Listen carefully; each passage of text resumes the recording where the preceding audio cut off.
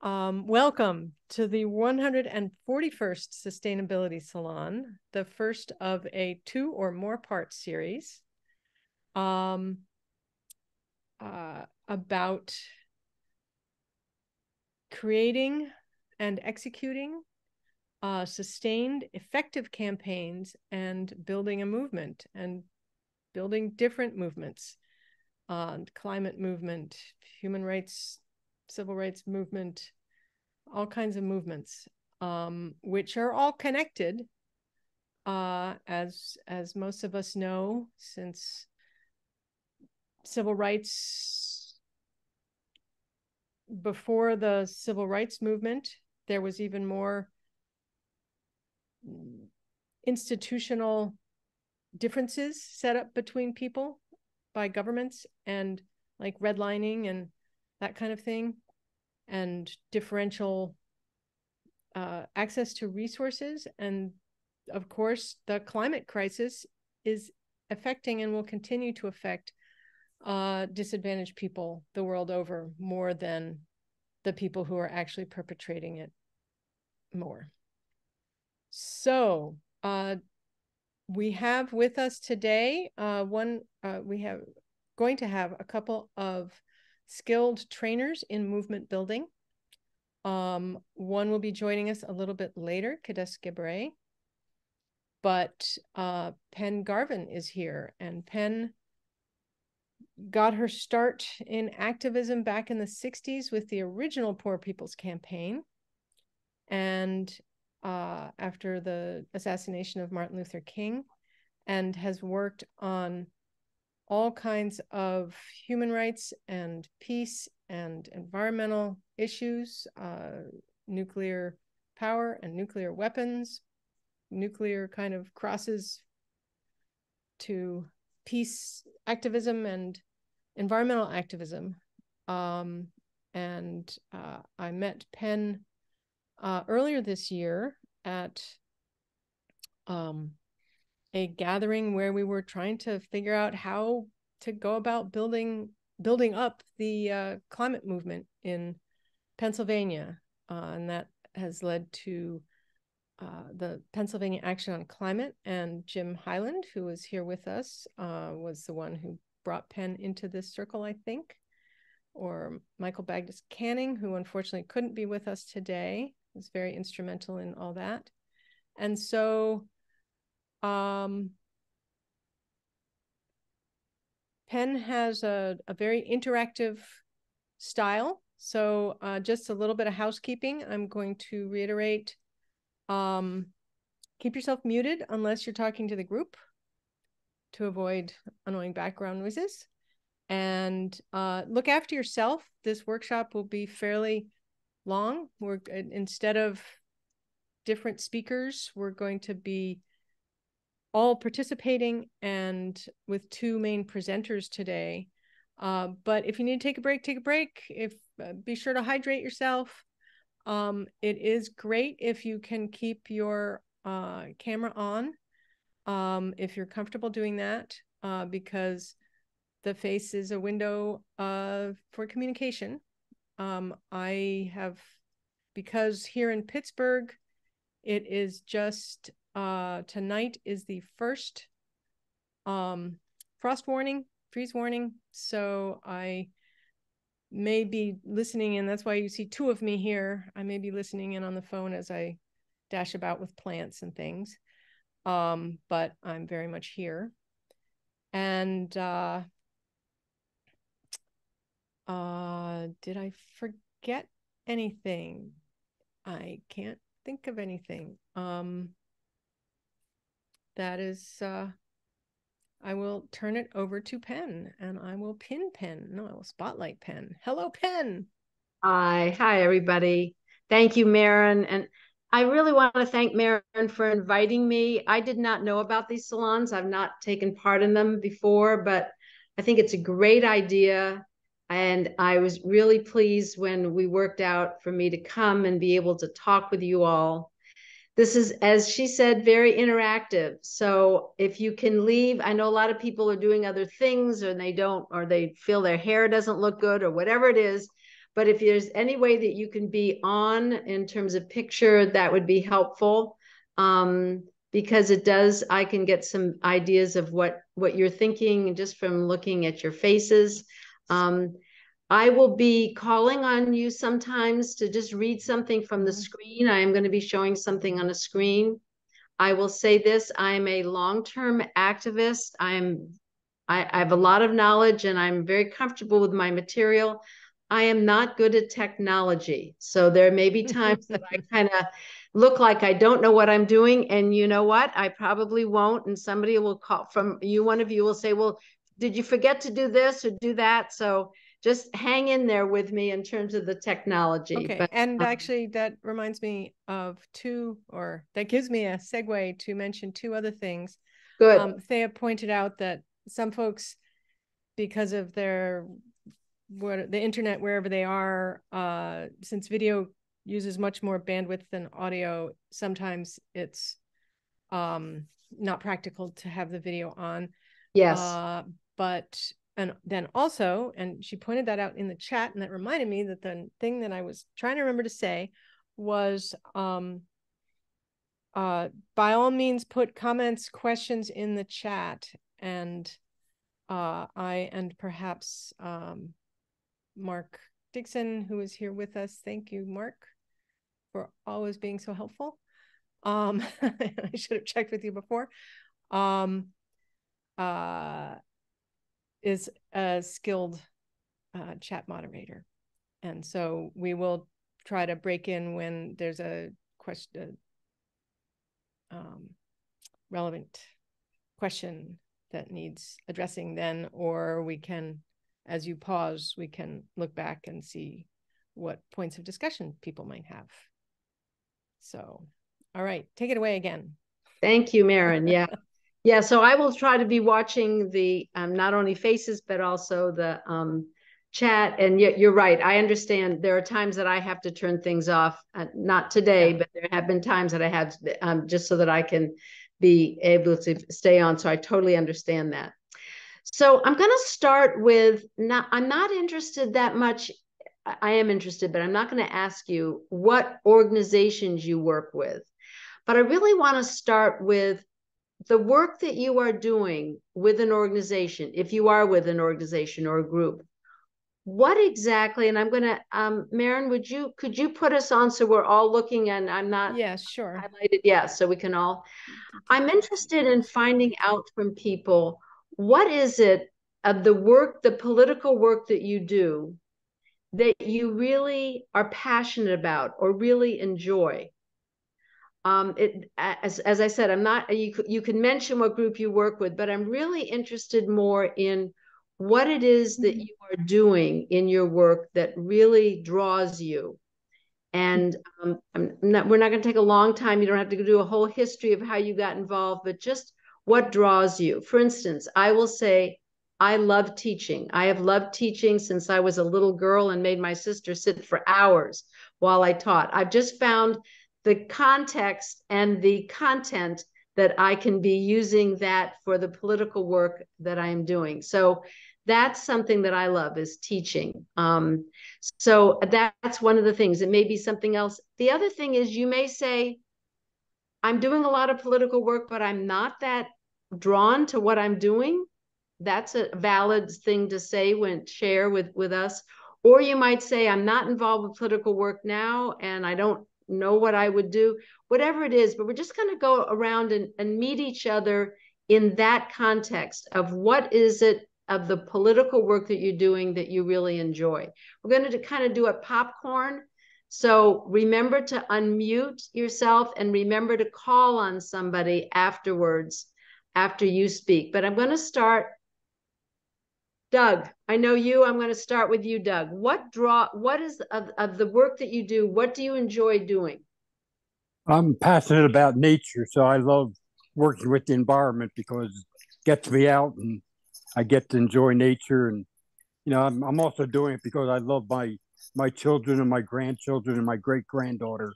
So I'm really working for posterity and for all the voices that can't speak for themselves in nature. That's great. Wonderful. Call on somebody. Um, let's see. How about pen, the other pen? I um I don't do much um organized. I I attend these kinds of things as many of them. I do lots and lots of reading and I post a lot on Facebook, both political and literary. Uh, and and people are are interested in that, like it. People who aren't interested don't like it.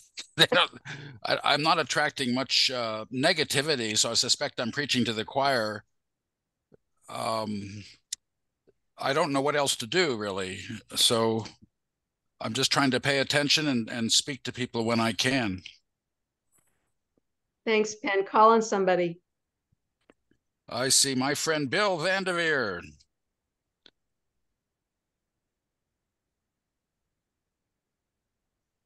Hi, I um, am not a member of uh, an active member of organizations other than uh, the Waverly Presbyterian Church Mission Committee and um, the um, what's the other committee uh, that I'm on? Uh, property. That doesn't mean much here, but the Mission Committee does. We we do some outreach work in the neighborhoods here, uh, helping people fix up their homes and um, I have done a fair amount of that in my career. Also, I'm now retired. Um, my concern, my, uh, if I have a passion uh, with regard to social justice, it's it's in the area of war and peace, and um, that's what my uh, major activity over my lifetime has been. Starting in um, about 1970, when I lost my student deferment and had mm. to uh, avoid the the draft at that time by becoming a uh, conscientious objector, mm-hmm. and so um, that's been, I guess, my throughout the throughout the years and the many wars that this country has been involved in. That's that's been my most um, consistent concern, and uh, what I've I'm not nearly as well read as Pen um, Hackney is by any means. I know how well read you are, Pen, but I have done some reading on um, nonviolence and um, uh, the nonviolence and, and, forgiveness in the political uh, international realm. Thanks, Bill. Will you call on somebody? Um, Dawn.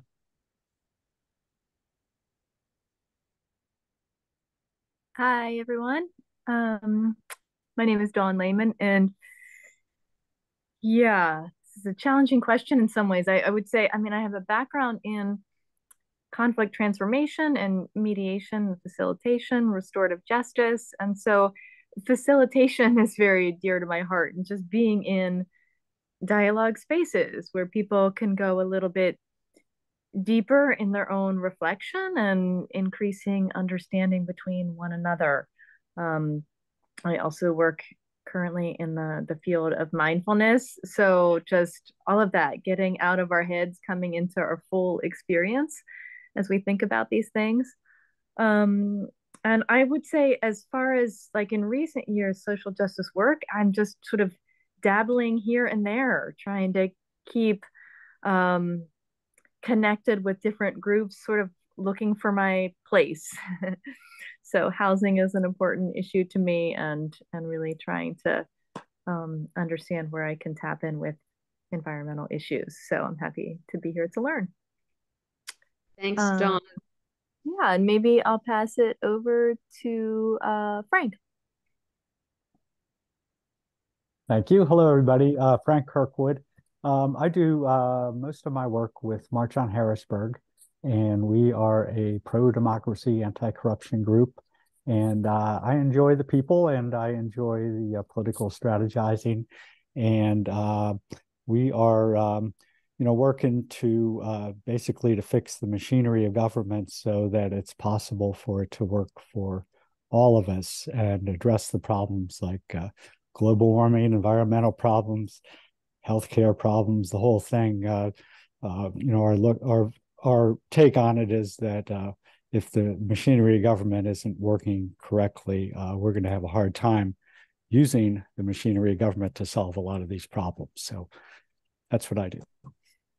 So thank you, Frank. Remember what I'm really interested in hearing from, and this has all been really good, is what draws you? What what of the work that you're doing? What is you? What are you passionate about? What do you really enjoy doing? You may do a lot that you don't, but what do you really enjoy doing? Frank, call on somebody, please.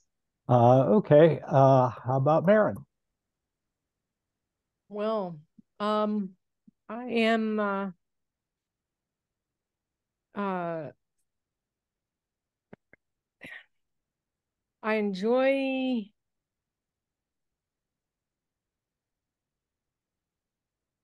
uh, enabling someone to understand what they might not have understood before. One of my things is because I have a science background, I I can knit the lay person and the science information together. Um, and I really enjoy it when I do that well. Um, I enjoy creating things, and uh, that runs from protest signage and banners uh, to three dimensional objects that make a point.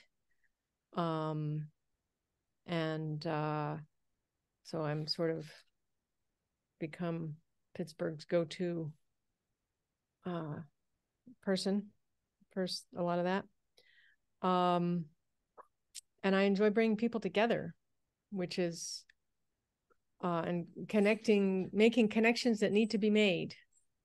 Uh, and part of that I do. I mean, people connect with me, contact me to connect with someone who might do X, Y, or Z, and I can usually find that person or that information to connect them with.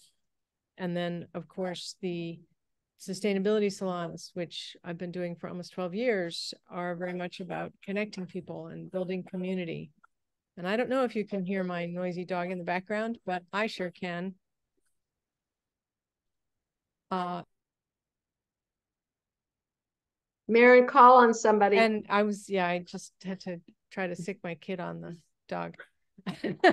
who probably sees her friend the woodchuck in the backyard. Um, how about Susan? Um, and apparently, someone has come to the salon. Oops.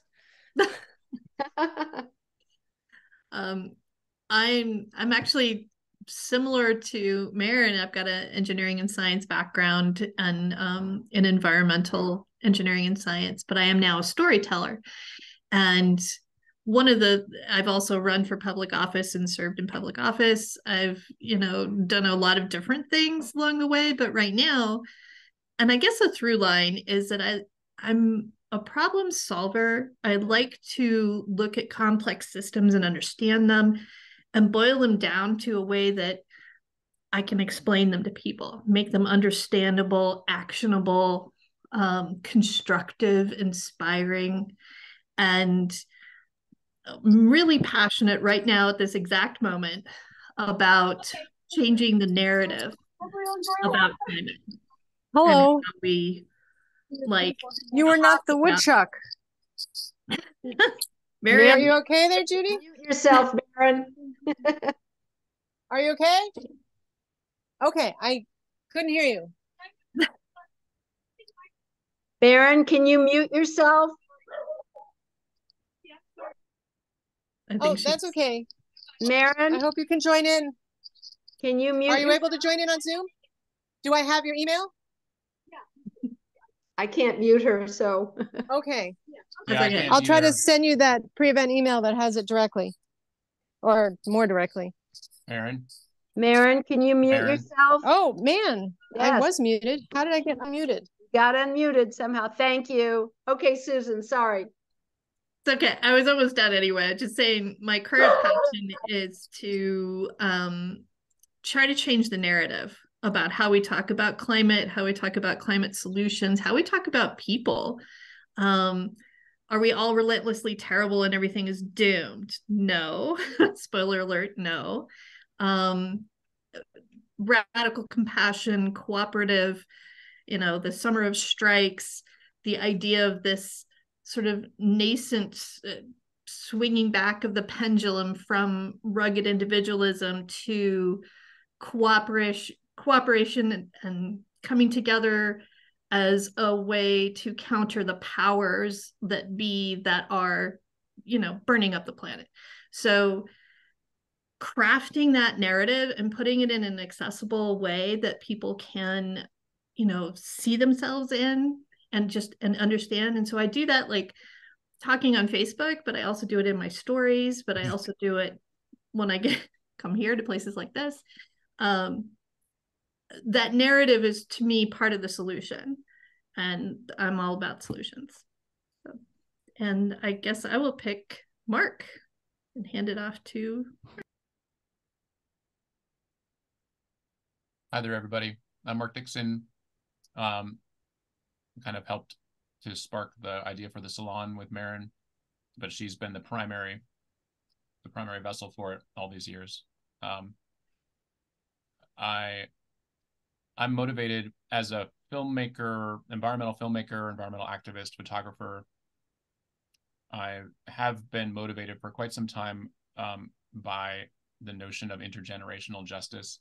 That I feel that the degradation of the of the living conditions of all people going forward, possibly in perpetuity, at least in terms of a meaningful um, context for human beings, um, is is um, catastrophically unfair and um, immoral, and and I feel that it's my duty, living in the circumstances that I am, with the resources that I have, to work doggedly to throw my weight on the pile of those trying to turn to turn you know turn the turn the trajectory away from that what sometimes feels like inevitable outcome so I, I do not have grandchildren i do not have children partly because of climate change my wife and i you know had some limited options but one of the decision points was to not have children because um, the planet has so many people already living and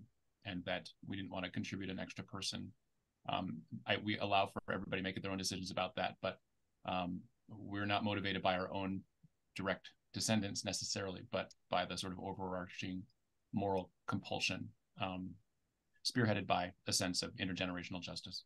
Um, and um, I love the work. I, I don't know that I could do any other work and left my career in tech to do this work and try to meld how I make a living with my moral obligations to the world. I feel. Um, I also try to regard my life as not being entirely my own, because I'm sitting on the shoulders of so many countless people who came before, and and and so I'm trying to act as a an agent of continuity instead of just Mark the guy.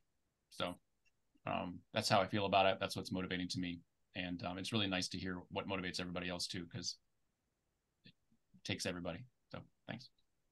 Um, I will point to um, Kate Bissell. Thanks, Mark.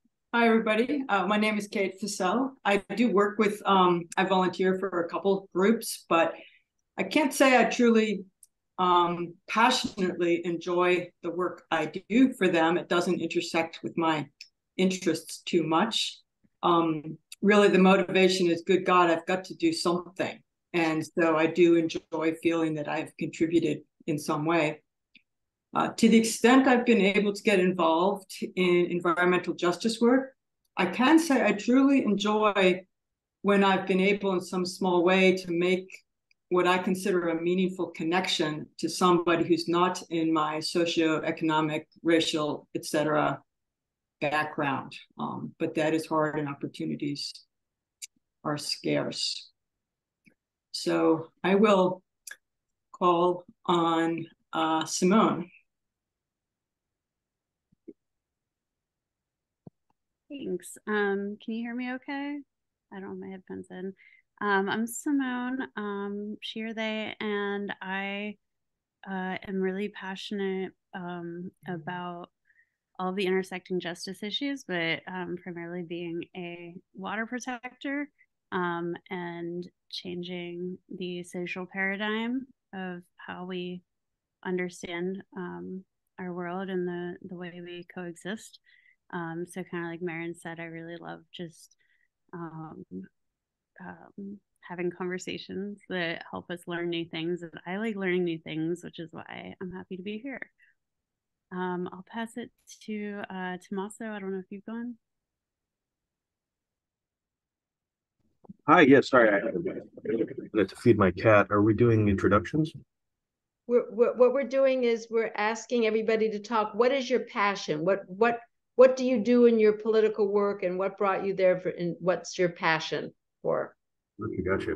Um, well, my personal passion is seeing communities grow, fostering connections. I love engaging people, especially young people my own age, um, with the political process. I see a lot of apathy and disdain for it currently, and I don't believe it has to be that way. So I really love changing those kind of paradigms and the way uh, people choose to engage with the political process, as well as uh, to some extent knowing that um, it's not a you know the, the current future is not a, a fixed thing. You know, I, I can have an impact in my own way, but it's choosing those battles and understanding more about how the system works and who works within it to try to affect change, you know, in the small way that I can. Thanks, Tommaso. Can you call on somebody? Sure. Um, um, what about Meredith? Um, I'm sorry, I'm, I won't try to butcher your last name. Meredith J. I'll take that. um, I would say, well, my my work has been in leadership, leadership development, facilitation, um, and so I'm really interested in and how just I guess how that kind of intersects with a lot of this work. Um, I'm also a certified coach, and so there's a big movement around climate change coaching and just kind of helping people deal with just the the grief and and the mourning and the you know inaction that can come from thinking about the climate and issues and so i'm i would say i'm really passionate and interested in exploring that and really figuring out how to help people overcome that um, and as a as a parent of two young kids who struggled with the question of whether or not to have kids because the, because of the climate.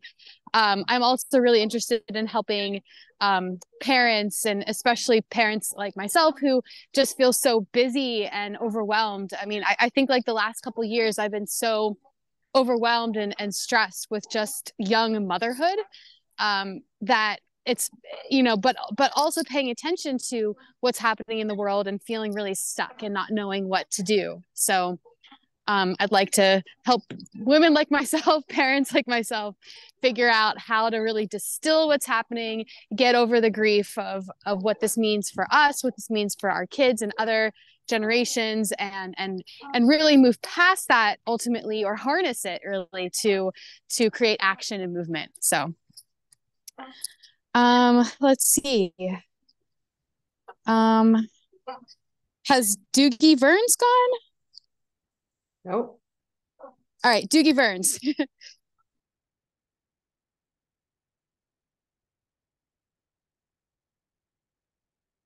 Doogie, are you there? Can you unmute yourself?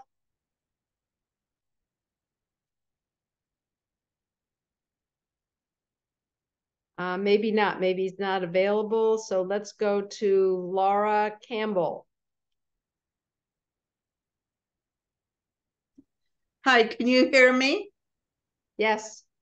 Hi, I'm Laura, and I am newly retired. I worked in healthcare management.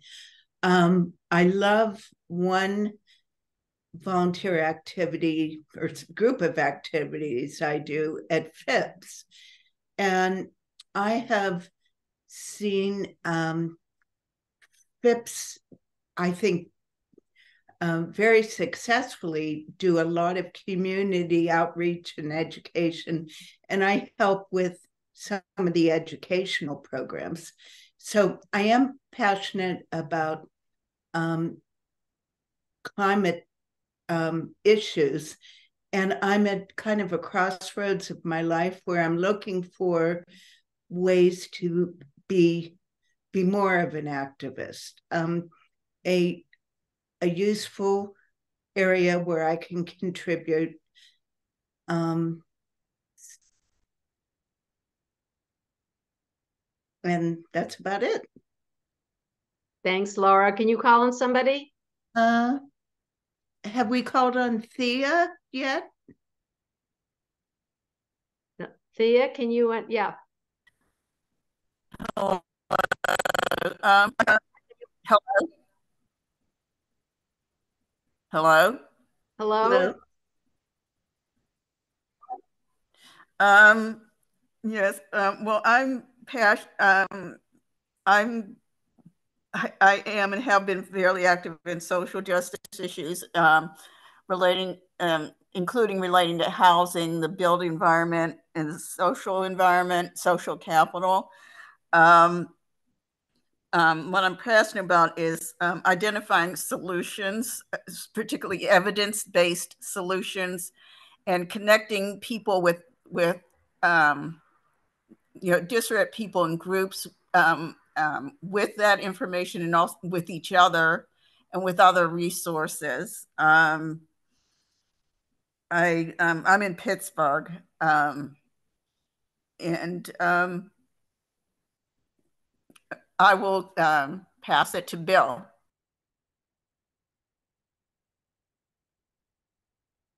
Hi, I'm Bill. I'm, I'm assuming I'm the Bill she passed it to. Uh, Take it away, Bill. yeah. Um, it's interesting. I'm th thinking of different volunteer activities I've done. Um, and the ones that are most drawing me are the ones that are not political, that no one can oppose it for any sane reason. Um, and I don't know, maybe I need a break. I've done some work with climate, and that's what matters the most to me. But probably my favorite thing I was involved. This is why I lived in Portland. We were going around and determining the species of every every tree that was on the street lining and their condition and whether there was overhead wires and um, and it was creating like a real nice database for this for the city so they knew you know hey do we have a block um, solidly of this species that would be susceptible to disease. And, you know, what do we need more? What do we need for diversity? Um, where can we encourage future planning? And um, so I don't know. I've also been involved with um, Citizens Climate Lobby, and the thing I like about them is they're they're pursuing something that um, no one can reasonably argue with. I'm sure there are there are people that argue with it, but you know, it's all it's all positive. Let's do this, you know. Um, so I don't know. Maybe I'm burnt out on the conflict bit, but I'm I'm really drawn right now by things that you can do. Um, everyone can support, you know, planting trees. It's like who can argue against planting trees, you know? So I've, I've gone out and done that. So anyway, um, have we called on Kate yet? Oh no, I think we did. Yes. Yeah. Yes. Um, Okay. How Sierra has not been called on. That's what I was about to do. Sierra, where three are. Hi there. Um, I am a new AmeriCorps member serving with Three Rivers Waterkeeper. Uh, I just had my first week, but we had our big fundraiser yesterday and an outreach program this morning. So I'm gonna have my camera off for most of the day. I just have low energy, but I'm happy to be here. And my my passions are also in connection. Um, I have a background in science and art, and I think a lot of our um, our issues, our current issues stem from colonialism, which has severed so many connections, connections between people and communities and people and the land. So what I've been fo focusing on for the past couple years is really bringing people or just helping them grow their their attention bone and i think like paying attention and fostering relationships with the natural world around them and having like growing relationships with place is really healing on a personal level and hopefully that has effects um, ripples out to a political level too um, and i just want to say that my favorite tool of connection are pigments. And I have a couple with me so I can show you guys. Um, so these are made with ochres in the creek, um, goldenrod. I have some ash from a fire, and one of these is an insect. And I just think that pigments have have stories to tell, and they're super engaging. Um, and the the so I make little paintings and try to engage people that way. Yeah. Um. Okay, who can I call on? Let's see. There's Marcy has not been called on. Jim Highland has not been called on. Marcy. Hi. Um, so I like to encourage other people and I like to be encouraged myself. Um, so is that a passion? Eh, maybe. Um, uh, so um, I guess we encourage each other by taking roles, and that's what I've done. I've taken on supporting roles. I'm not a leader, um, but um, I like it when someone who's a leader can give me a role that I can fulfill. Like um, some of the things I've done are I've done some researching, I've done online researching, and I also have done scouting uh, in my car. And since I have a car, I'm I I do help by driving, and um, that's something I can do. But I do a lot of logistical things. Two, um, I can track finances for people because it's important to keep track of those kinds of things. Um, and I guess maybe the most exciting thing that I've done recently, well, I can't say it's the most exciting because I've done so many exciting things in the name of activism this year. And one thing that I want to mention is that I do have a passion for animal rights, and I was able to run logistics and help set up a workshop for our Green Party um, Animal Rights Committee at the uh, national an annual meeting. And um, I'll call on uh, Doug Mason. Have you spoken? Yes, he has. Okay, Julia. Hi. No, I haven't. Um, I am really excited to be here and hear everybody's passions. I want to say I'm a socialist and I'm passionate about the end of capitalism, whether it's in my lifetime or another. And I think that something that we don't always have time for is the creative conversations where we imagine a world that is not driven by profit. And I love to have those and get to hear what everybody thinks we could do if we used our resources to better our world for each other. Thanks. Thanks, Julia. I think Jim, I'm going to call on you, Jim. All righty. Uh, so uh, stuff that makes me feel passionate um, is uh, like like some other people have said, bringing connections, but especially connections between uh, folks doing work in government reform, political reform, like fair districts, and connecting them with the environmental movement because I think we we, we help each other so i get i get a real kick out of out of doing that and then also out of just you know the getting to to, to meet people and talk to people um, uh, either who are doing activism or are people who are just suffering from you know the environmental degradation that's that, that's going around and and hearing their stories because that that gives me a whole lot of energy to to do more um, let's see is there anyone I Betsy has not been called on. Okay, how about Betsy? You? Yeah. Hi, guys. Um, yeah, I'm coming from Olympia in Washington State. Um, I think the thing that drives me is um, both learning and being able to share that with other people and seeing them empowered, um, particularly with regard to cutting through the corporate marketing bullshit and and the dominant social narrative sometimes about various things um, using data and empirical evidence. And I really like that. And I think, Beth, uh, thank you, Betsy. Matthew, you've not spoken? Yeah. Hi, thank you. Uh, sorry I joined a few minutes late. I've had a lot happening today, but um, really appreciate being able to be here. Um, so I, I, take it that what folks are talking about is what they're passionate about. Um, so yeah, I mean, I have um, a lot of things, but um, if you get right down to it, what really gets me uh, interested is um, how how how people find meaning um, and understanding all sorts of ways that um, people achieve that and making sense out of complexity uh, to get to the heart of what gives people meaning. So that's really, that you know, there's a lot to that. Sometimes that means looking at the history and context of why people interact the way they do. So getting deep down into that historical narrative to try to unwind some things. Sometimes that means studying how people interact with each other and with systems and technology to see how those pieces fit together.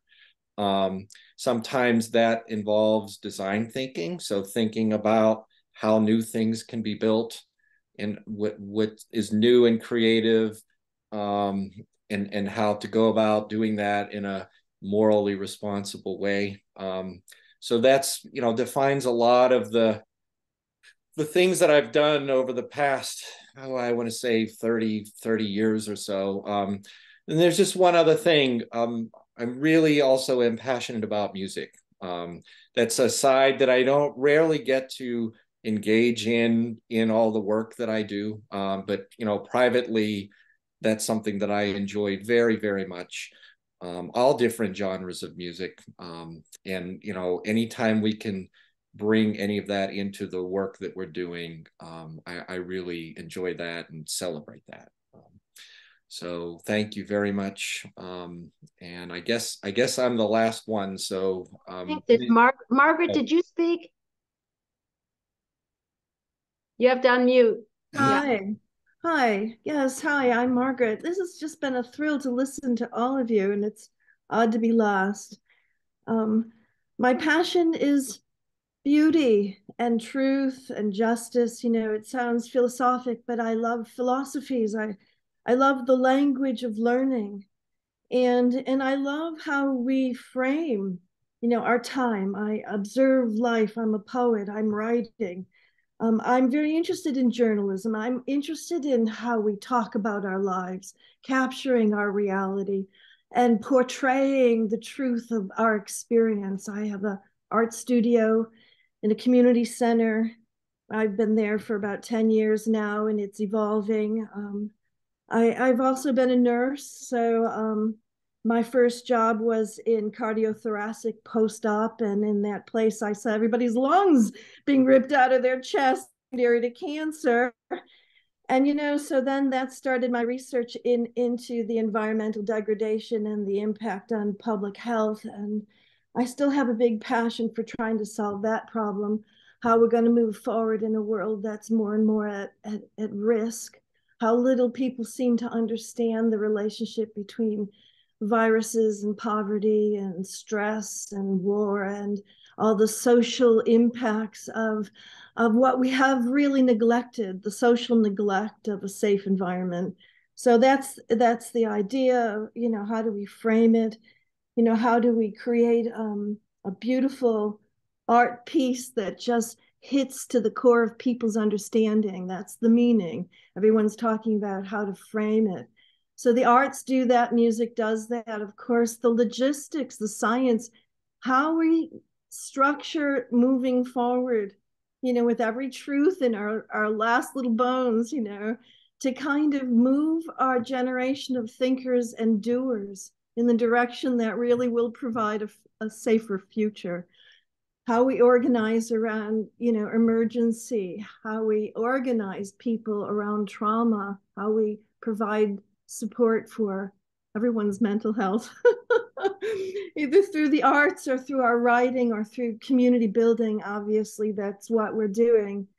So I'm hoping the studio that I'm building has somehow a you know a relevance to education and bringing exactly what we're talking about into a forum, public forum. Hazelwood you know, is building, Hazelwood Green is big. How do we couple philosophy with robotics and biotechnology so we have a moral future? That's the conversation I'm interested in. Thank you, Thanks. Margaret. I think everybody here has spoken, but Maren, somebody came in person, so I want to see if that person would like to participate. I don't know how you're working that out in terms of the Zoom call, but Did we hear from Bill Wexelman? Was it hit. It, Ah, yes, it's- Bill Wexler. good. But yeah, that the, there's nobody there. So Bill, are Maren? Yeah, why don't I let Maren first, and then Bill, if you're there, let's uh, give you a chance. So Maren, the person yeah, who's the remaining person um decided to head back home and join in from there and she has not yet materialized Okay. um i think there was another time that she came and sat here but because i was in the salon um my kid greeted her at first and so she when i was shouting again apologies for that i was calling to her to make sure that was what her preferred outcome was so uh i hope that she'll be able to join from home Great. Thanks, Maren. And I think, Bill, are you there? Bill Wexelman? And doogie also wasn't previously responding. Doogie are you there now? I don't even see that person on. and oh and helen gerhardt has joined us.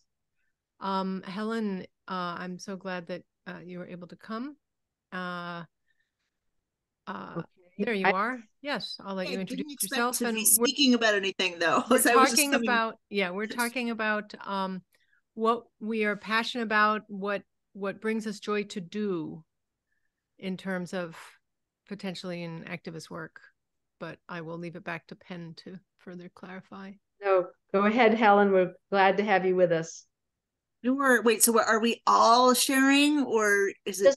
Mhm. We've all just shared. You're the Okay, great. last person, so you won't, you unfortunately won't hear the others, but we shared, as Maren said, what is our passion? What is the work that you do that you're passionate about? I think um, uh, trying to think about our communities as ecosystems. uh, you know, trying the, the three main areas of organizing um, I've worked on over the past few, you know, I guess decade or so, are the connections between housing justice, public transit, um, food sovereignty, and then racial and migrant justice and um, truly inclusive public um, planning. So, where communities that are most impacted by policies are helping to shape those policies, and especially uh, you know those communities that, that have experienced um, systemic um, discrimination over time. So, um, in terms of race, in terms of um, ethnic origin or mi- migrant status, um, in terms of um, differing abilities. Um, so, I, I have been, it's been wonderful to work with uh, just so many great people in these different fields from the Pittsburgh Food Policy Council to Pittsburghers for Public Transit.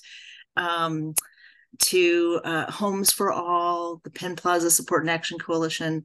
So uh, I really love bringing together the world of organizing and um, policy making and community planning. Wonderful. Well, there is a wealth of information, experience, and passions here among this group. And I, I often get the question, and Maren said she did too, of, well, what's the most effective thing? I don't know quite what to do. What should I be doing? And I think that's really the wrong way of looking at it. My suggestion is start with your passion, whatever your passion is. If it's entering data in the computer, if that's your passion, great. If it is, somebody said music, that if that's your passion, great. Whatever it is and anything in between, because all of those things are needed. And the the issue is not what is the most effective. If you're passionate, that's what's going to make something effective. If you're not passionate and you're just doing what the organization says you should go knock on doors. I hate to knock on doors, but I'll go knock on doors because that's what I'm that, that's not going to work. So I, I, I really encourage all of us to share with each other in our organizations, take the time as we did here. It took, you know, 45 minutes, but it was a good thing to know what people's passion are. And it's a good thing to say that to yourself and to others and to be clear what that is and to clarify that. So I just wanted to really emphasize start with your passion, not start with what's needed. Start with your passion. That's what's needed. And then you can figure out um, how to use that. For instance, I had a, somebody come to me and said, I love dance, but I don't know what to do with that. I said, Oh my goodness, all of our boring demonstrations, we would love to have flash mobs or theater or something. Just go with what your passion is and find people who are willing to incorporate that into the work and, and be pushy be a little pushy it may not be what they originally think of but that all of uh, of this the passion that is here all of what you feel drawn to that's what we should be doing and using so wanted to start off with that i'm going to i i, I we've been sitting here for a little bit. I'm going to have, um, I'm going to do one thing and then we're going to stand up and just move. not giving a whole big break, but just move. As Maren said, take care of yourself. If you need to step away and get food, you want to eat on the, I think we all have seen people eat, just eat if you need to, whatever it is you need to do. So um, thank you, Maren. Maren just popped something in your mouth just as I said that. So please just take care of yourself. This is a, a, a place to, it's a safe place um, that we can do what all, all of us need to do to be able to stay together and really think about some of these things. What we're going to do now is I, I'm, I'm going to show uh, two, two documents that I'm then going to send to Maren, and Maren can send out to all of you um, after this. So don't feel like you have to take notes. All the stuff we're going to be, most of the stuff we're going to be doing today, and, and probably all of it that we're going to get to given the time today. I have a lot that we could do, but I think given the time today, you're going to have a send out to you. So don't don't be taking notes. Really focus more on what's being talked about and what that brings up for you in your own thinking and your own experiences and share that. So just want to put that out for those of you who are note takers. Um, I'm going to share my screen right now, and um, I'm going to um, talk about a document here. We've been talking about the different kinds of work that people do, um, the different kinds of passions that people have. Um, and so, what I wanted to do is share something from um, a book by Bill Moyer, not the Bill Moyers, but Bill Moyer, who was very active in the 60s, 70s, and 80s. Um, he is no longer alive. He was a good friend of mine, and I was involved a lot with this work that he was doing in workshops. And so I use this. This is one framework of how to look at the kind of work that we need and also the kind of steps, the kind of process that this goes through in terms of do in terms of doing um, social movement. This is the second page where we're going to be doing a lot of this today. So I'm just putting this up to show you this is what you will get. This is the the steps that social movements go through. And I'm going to say I've been involved with social movements since the 60s, everything from um, animal rights to obviously um, things about the environment and women's issues. I have never seen a movement that did not follow these steps. So you can see here, I'm going to sort of point out normal times up in the far left and the top left goes from normal times to prove the failure of official institutions to ripening conditions and you can see with ripening conditions, there are protests that go to the power holders. All of this we're going to go into in the next couple of hours. I'm just kind of giving you a little bit of a roadmap of where we're going. Then the takeoff, you know, the trigger event, and then a perception of failure and the majority public opinion. Once again, you can see here This is where protests happen to the stop, uh, power holders. From there down to success. And once again, it doesn't mean we aren't pressuring the power holders and continuing the struggle. So we're going to be talking about these different movements and what's and part of them. We're going to be talking about characteristics of movement process. We're going to be talking about the power holders. All of this is what we're going to, be covering um, today. But I'm going to go um, back to um, just, I'd like for us to just stand up for a minute and just you know, shake, move for a minute, and then sit down. If you got to run and get something, do that, but just stand up. Sitting too long is not a good thing for anybody. So just stand up and move around, whatever you want to do. Turn your camera off if you want, and you need to, but just move around for a little bit, and then we'll sit back down.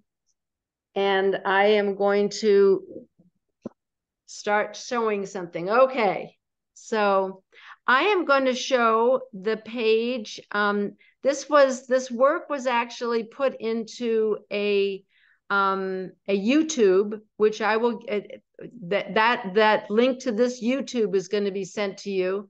Um, so I'm going to now start showing. Um, can you all see that? Somebody unmute and say yes if you can. Yes. Yes, Oh. it's right there. Okay, Good. good.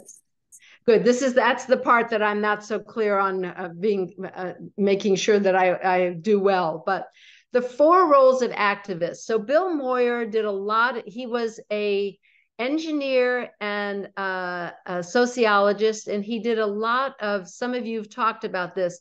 He was very interested in what went into the kinds of activities that people did in social movements, and he was involved with a lot of them. The civil rights movement, um, the uh, the women's movement, um, the anti-nuclear movement, et cetera, et cetera. He was involved with a lot of movements and studied them also.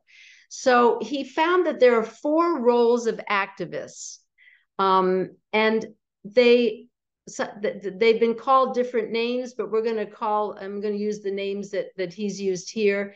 And I, I'm going to just have you start to look at those, these roles of activists, because one of the things that is important to know is that where do you fit in? And you may fit in more than one. So the citizen, and I've heard a number of people talk about, they liked figuring out the trees in their town, etc.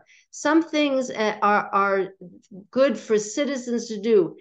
Work in community centers, work with um, food distribution. A lot of things, it's just one of those kinds of being part of your community, being a good citizen. Now, you see to the right of that is the reformer.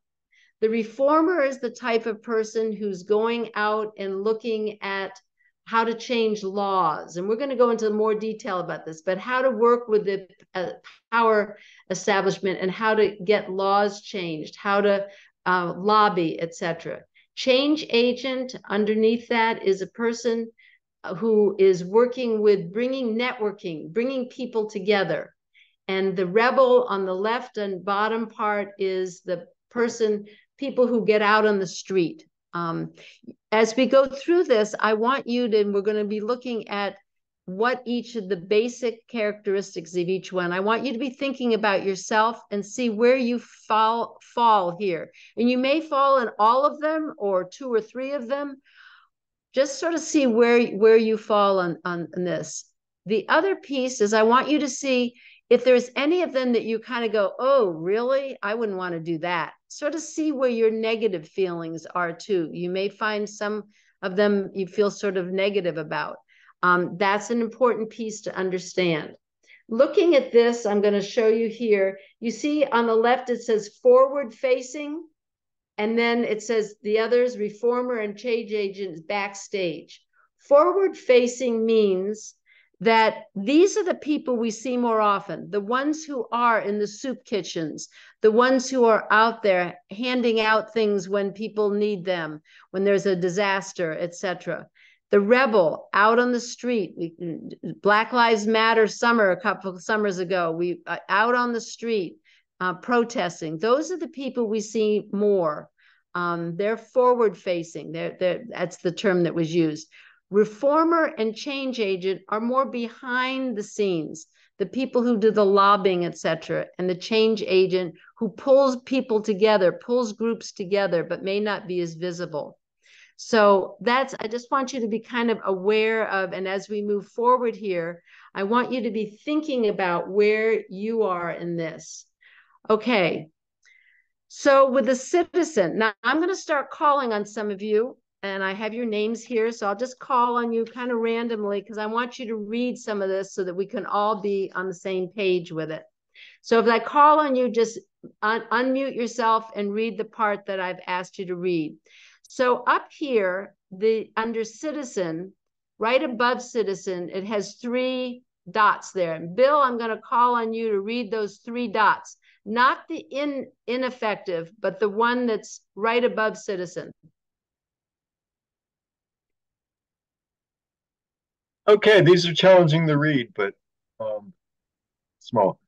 Promotes positive, widely held values, e.g., democracy, freedom, justice, nonviolence. Grounded in center of society and protects against charges of extremism. Okay, thank you, Bill. Is it hard to read? Was that hard? Is it hard to see them? They're a little small for me, but okay. I should be wearing glasses. It just depends on your screen size. You can always, if your screen is large enough, you can see it quite easily. Oh, okay. Oh, okay. Okay, good. So, okay, so the citizen or the helper, sometimes they're called. Who has who who here has taken part in something that's like soup kitchens or working with the homeless or doing something that's considered it's not considered um, you know, you're helping people, but it's not considered too radical and off the chart. Somebody who unmute yourself if you have and talk a little bit about what drew you to that. Bill, you want to do that? You raised your hand. Yeah, sure. As a career, I worked with uh, uh, low income homeowners to help make repairs that they could not otherwise afford. So I had a lot of contact uh, with uh, people in all different levels of need, um, from very desperate to you know just a, a, mod a, modest little change that they couldn't afford. But um, um, I was uh, you know uh, experienced in the different qualities of, of poverty or the different degrees of poverty, I guess, in, in that in that way. Is that sort of what you're after? It's exactly right. That's exactly right. And the um, mutual aid societies grew up or groups that grew up during the pandemic, et cetera, et cetera. And the more marginalized a community is, Black communities and poor communities, et cetera, the more marginalized your community is, um, the more often you will see more of these kind of helping people to survive every day. So it's not only, I'm not even going to have to go into why it's a good thing to do that, but it also is important that we are not known as just uh, progressives or political people are not known as just being against something. You know, we're against what the government policies are on this, or we're against this or that, but also what we are for. This is a very important part. So if that is something that you're drawn to, and once again, I'm going to ask you, write down, say, yes, I've done this and this and this. Be thinking about what you've done or what you are drawn to in terms of this. Many of you spoke to this because of time. I'm not going to go into re, re, calling on everybody, but just write down if that is something you're drawn to. It's a very important part of the work that we are doing. Um, so I'm going to ask um, then, okay, Thea, yes, you had a question, Thea. Oh, no, sorry. I um, misunderstood. I thought you were asking people to say what their experiences were as a citizen. Yeah, if if if I, if we were in person, I would get us in small groups and have people share, but I'm not going to because that's hard to do. But thank you. Yeah, thank you. Okay. So I'm going to move over here to um, the reformer. Okay. Um, let me let me move this along a little bit here. Um, so here we've done the citizen and we've seen what, and we will talk a little bit. I'm going to, I am going to stop it here. We're going to talk a little bit about the ineffective part of each of these has an ineffective part. So I'm going to ask Margaret, will you unmute yourself and read the ineffective part of the citizen? Ineffective citizen um, does not realize the power holders and institutions serve elite interests. Super patriot, blind obedience to power holders and country. So this is how this is a negative way that people can go. If you if you are somebody who does not understand how about power holders and who they serve, then your citizen involvement involvement can be not helpful to the movement. And certainly if you have blind obedience you're not being helpful. So these are each of these has a positive and a and an ineffective part. Um, so any thoughts on this? We're going to move on to the reformer but i want to just sort of open it up to any thoughts that somebody might have on this. Just uh, voting voting is crucial for citizens and encouraging people to vote pers uh, persuading them begging them to vote. The more people that vote the better results will be. I'm convinced of that. Good. Thank you penn. Yes. Yes and and working with with you know for with, with the electoral process is very much a good citizen and very and crucial. Each one of these is crucial to as part of making change, social change. Each each one of these.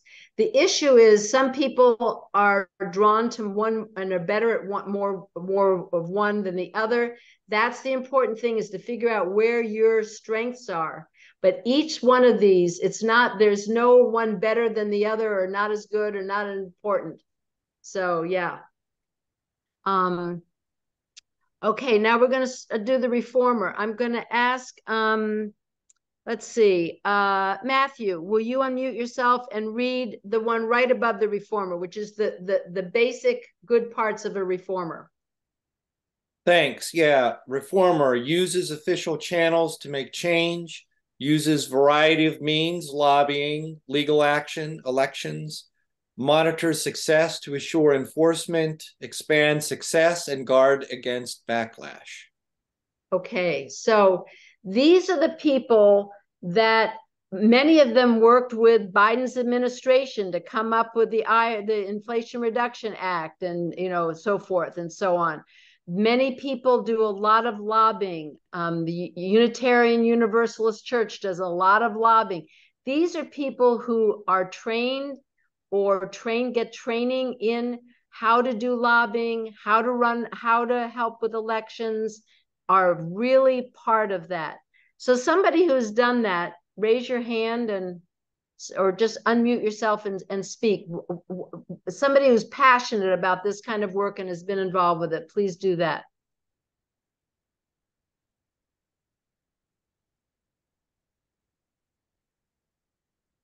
Anybody here? Yeah, I've been working uh, with the campaign in Ohio for a referendum on abortion rights that's happening this November.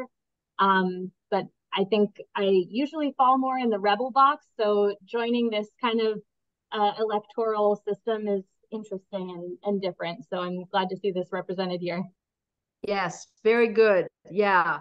Yeah. And the the best is getting skills in each of these because at different stages in the um, social movements at different stages one or the other is more important. So i like what you said. You know i'm usually the rebel but i really worked with with this and i'm learning a lot. That's important. Years ago i worked with a group um, and they were willing to get arrested etc and then we had to do lobbying. And people said i said i couldn't get anybody to lobby. And i said i don't get it. You'll get arrested but you won't go and lobby? And somebody said to me you taught us how to get arrested. You didn't teach us how to lobby. Oh okay. So it's really you know it's that that hammer and nail and hammer kind of thing. Get the skills you need so that when that comes up, you don't say, Oh, I don't know how to do that. You go, Yeah, I can help with that because that's what's needed now. So the more that you can get the skills needed, the better off you'll be. Um, Does working for a union work? Is that an official channel to make change? Being absolutely union advocate and all that? Absolutely. Absolutely. Yeah. And in union work, you do you you have to do a lot of these, okay? Yes. It's not just yeah. one or the other. It's all four of these. Mm-hmm. absolutely. And thank God unions are coming back again. And young people have a different attitude about unions than than than than used to be. So absolutely. Anybody else with a statement or question? I just I wanted to jump in and add how um well I I've got postcards right here that I'm filling out.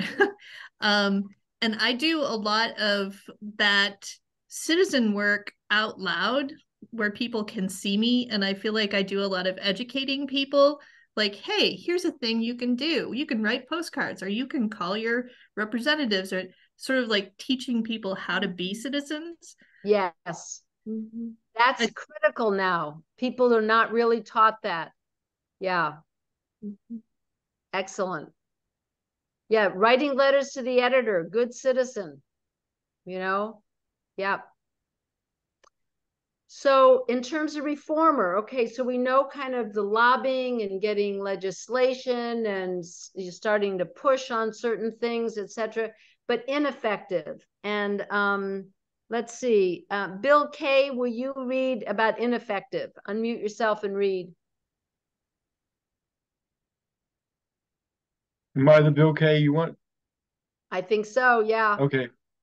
Um, promotes minor reforms, co-optation, identifies more with official power holders than grassroots, limited limited by hierarchical patriarchal structure and does not advocate paradigm shifts. Okay, so here is the ineffective. Thinking of very minor reforms instead of something which will do a paradigm shift. And anybody want to do a, a, a definition of paradigm shift? Just unmute yourself and do a definition of paradigm shift if you have one way of looking at the world and how it works, um, and then something helps you shift to a, a, different point of view on how the what the world is and how it works. Exactly, exactly. So, with with the kinds of reform you want to be looking at something that makes it's a big lever it it's a paradigm shift in how our country our our society looks at something so that's really important to be aware of that if you are co-opted easily, if you um, say, well, you know, I, I, I, know we didn't quite get everything we wanted, but um, you know, I got the the commissioners to really like us. That's not necessarily what the work is about. You know, it's about focusing on changes that can happen through lobbying and legislation. Any thoughts on that? Any experience people had of negative things that have happened with reforms? Oh, I just can't help but um, remember all the pushback from the hierarchy of the medical community. You know, the the corporate structure against you know the nurses. Right. You know it, and the patriarchy. I mean, it was an old capitalist structure that was imposed since the 60s and whatever it was that we thought we were practicing in the sciences i mean we're still advocating for change. But there it's constant co-optation. We get incremental changes. We're taught somehow the nurses are taught be satisfied with these incremental changes. But what we really need is a shift away from a corporate structure of healthcare and convincing people are having the right language within the unions it's just such a challenge to break through somehow yes the language using it i don't know don't have an answer for that yet no, I, I but you you you speak to that exactly. Mm-hmm. Some of that is, and all of these, and you'll see this when we start talking about the different stages. We often think that we're always supposed to be pushing on our, you know, elected officials, whether locally or nationally.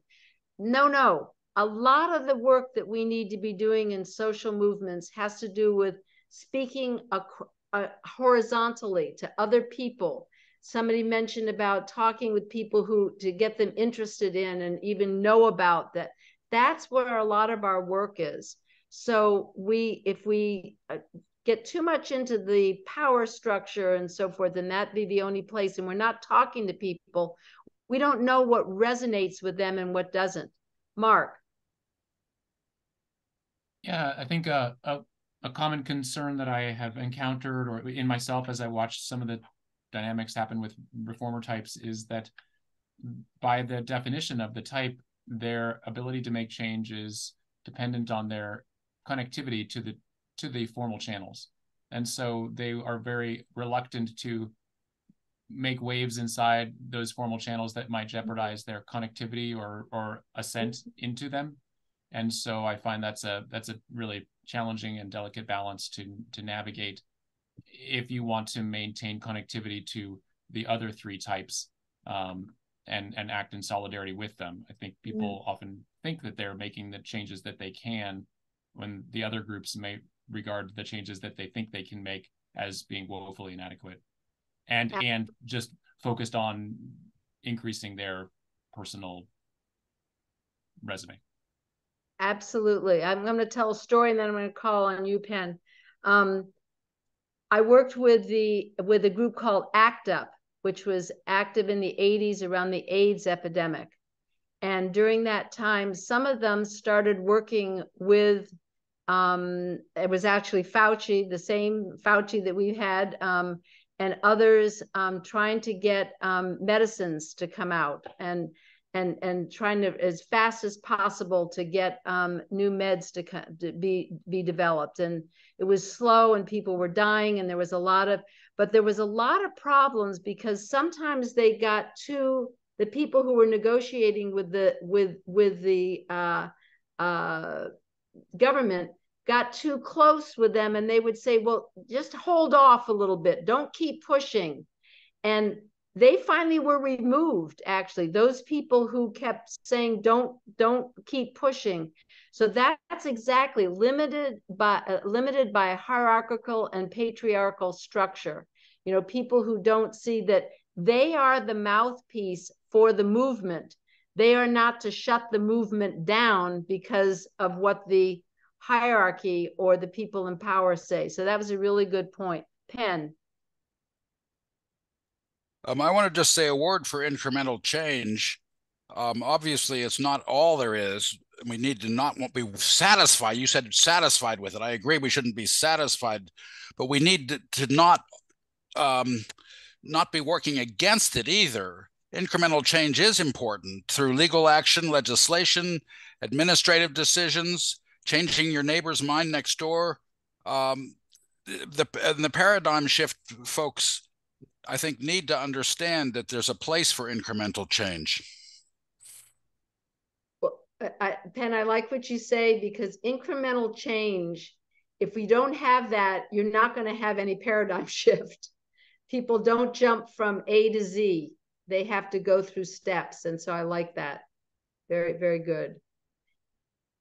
I'm going to move on unless there's another thought here. Okay. So we talked a little bit about the citizen and the reformer. And now we're going to talk about the rebel. Okay. So the rebel is one of the ones that is visible. And um, I'm going to ask, um, let's see, uh, uh, whoever I called on, Marcy, will you read um, the, what's under the rebel? Unmute yourself and read what's under the rebel. Give me a second to make this bigger again. Okay. Because that's going to take me a minute to do. Okay. Maybe I'll have you read the. I'm ready. I'm ready. You ready? Good. Okay, that wasn't very long. Okay, go ahead. Uh, protests say says not. Starting again. Protests says no to violation of positive values. Uses nonviolent direct action, and civil disobedience. Puts problems in public spotlight. strategic, exciting, courageous, risky. Thank you. Okay. So I want to say a couple of things here.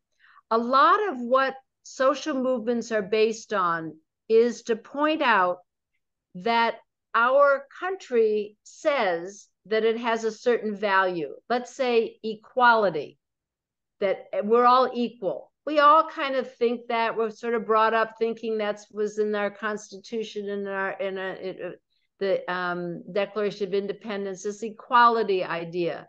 But in fact, that's not always carried out, as we know from the civil rights movement. I don't even have to say now, all the things still going on, that there's not that value that we say we have. The power holders don't always follow that. And they have rationales for why, or they hope nobody notices, or whatever. And a lot of what the work that social movements do, and a lot of what rebels are doing, is calling people on where the stated values are not being carried out. So that was very clear in the civil rights movement and very clear in the women's movement. And it's clear today in terms of how um, uh, transgender people are being handled. And uh, all of that is, is just a good example of saying no to the violation of positive values. Any thoughts on that? Just just unmute yourself and speak. I love joining marches. it's not it's not hard. It doesn't take a lot of work, and it's and they're fun. Okay, so joining marches is one thing. We're going to talk a little bit about a one-time march. Is how effective is that as opposed to building a campaign, which is made up of a lot of things, including marches but that's yeah a lot of people do like to uh, do that. But it's important to really think about what's behind the march. What value is being because values i know this is another whole discussion which we're not going to get into today but people will fight for values in a way that they won't fight for policies. They will fight for the value for instance of uh, everybody gets a one vote per person, where they may not fight for a policy that um, is discriminatory because it's much less clear. So people, you have to enunciate the values that are behind what you're fighting for. So uses nonviolent direct action. That's what NVDA stands for. And civil disobedience, or many people now are calling it civil resistance. Um, obviously, this puts pro- problems in the public spotlight. We saw what happened after George Floyd's assassination and what happened on the streets. I live in a small town. It's uh, always been Republican. And there was a call for a Black Lives Matter during that summer when everybody was doing a um, Black Lives Matter demonstration in downtown Mifflinburg, which has about six streets. And my husband and I thought, oh my goodness, maybe 20 people. We've got to go, even though it's in the middle of the pandemic.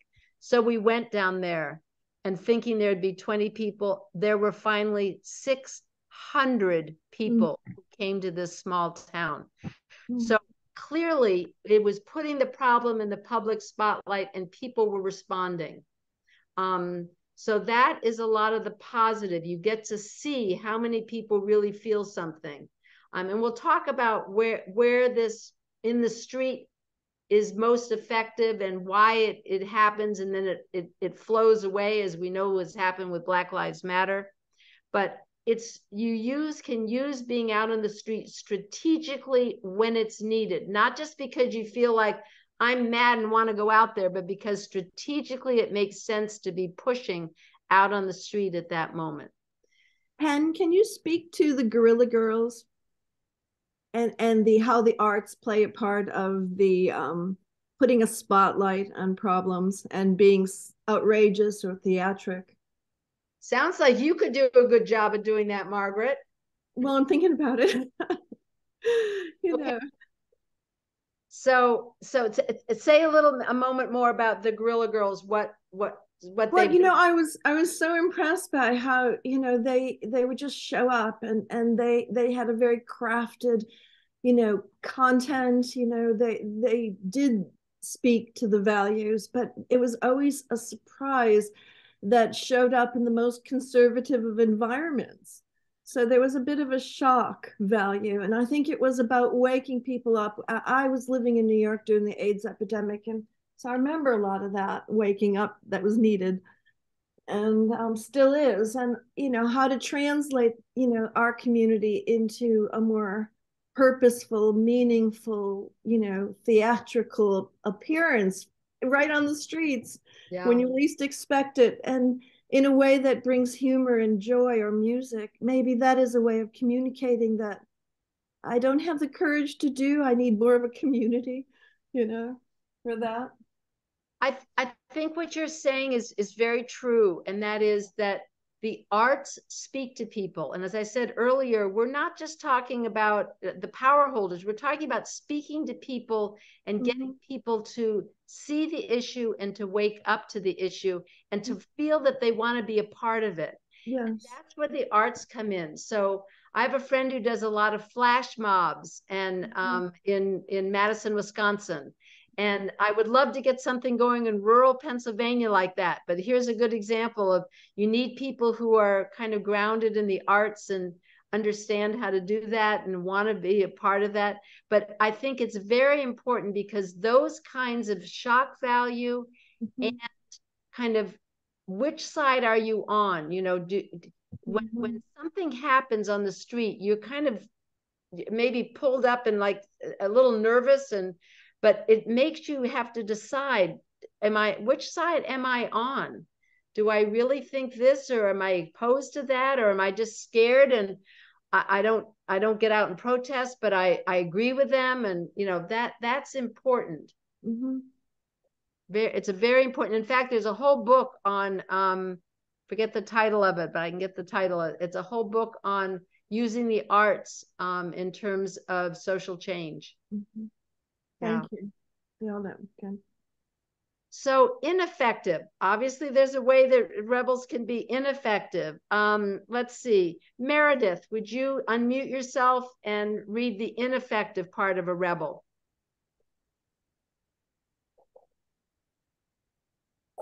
Self-identifies as being on the fringe. Any means necessary, including violence and property destruction acts from strong negative emotions such as anger, desperation, and powerlessness, anti organization, opposed to any rules or structure, personal needs outweigh movement needs. Thank you. So, this is where things can get out of hand. Um, if people come to this work and not having done de- dealt with their own inner anger, and this is a way to act out anger, this is not political work this it, under the guise of political work people are acting out and that does not help a movement we've seen this time and time again when five or six people and maybe they're agents provocateurs and set up to do this but maybe they are just people who are in the group that go and and and break windows or mm-hmm. destroy something then suddenly all the attention you can have 2000 people peacefully demonstrating mm-hmm. and then two and then five people do that and all the, the front page says you know violence in demonstration etc so often unless they're agent provocateurs which have been set up and paid to do this often if it is from really from the people who uh, uh, uh, plan the demonstration that's because of ineffective. Their anger took over. They mm-hmm. wanted to be anti, opposed. Um, they had their, their the strong, strong negative emotions and any means necessary, etc. So that's a negative direction, an ineffective direction that rebels can go in and groups can go in. And that's why it's very important when you're doing out on the street that there be pe- people be trained and people be um, leaders be there to keep sights on what you're out there for. This is not just a free for all to get your feelings out. Any thoughts about that?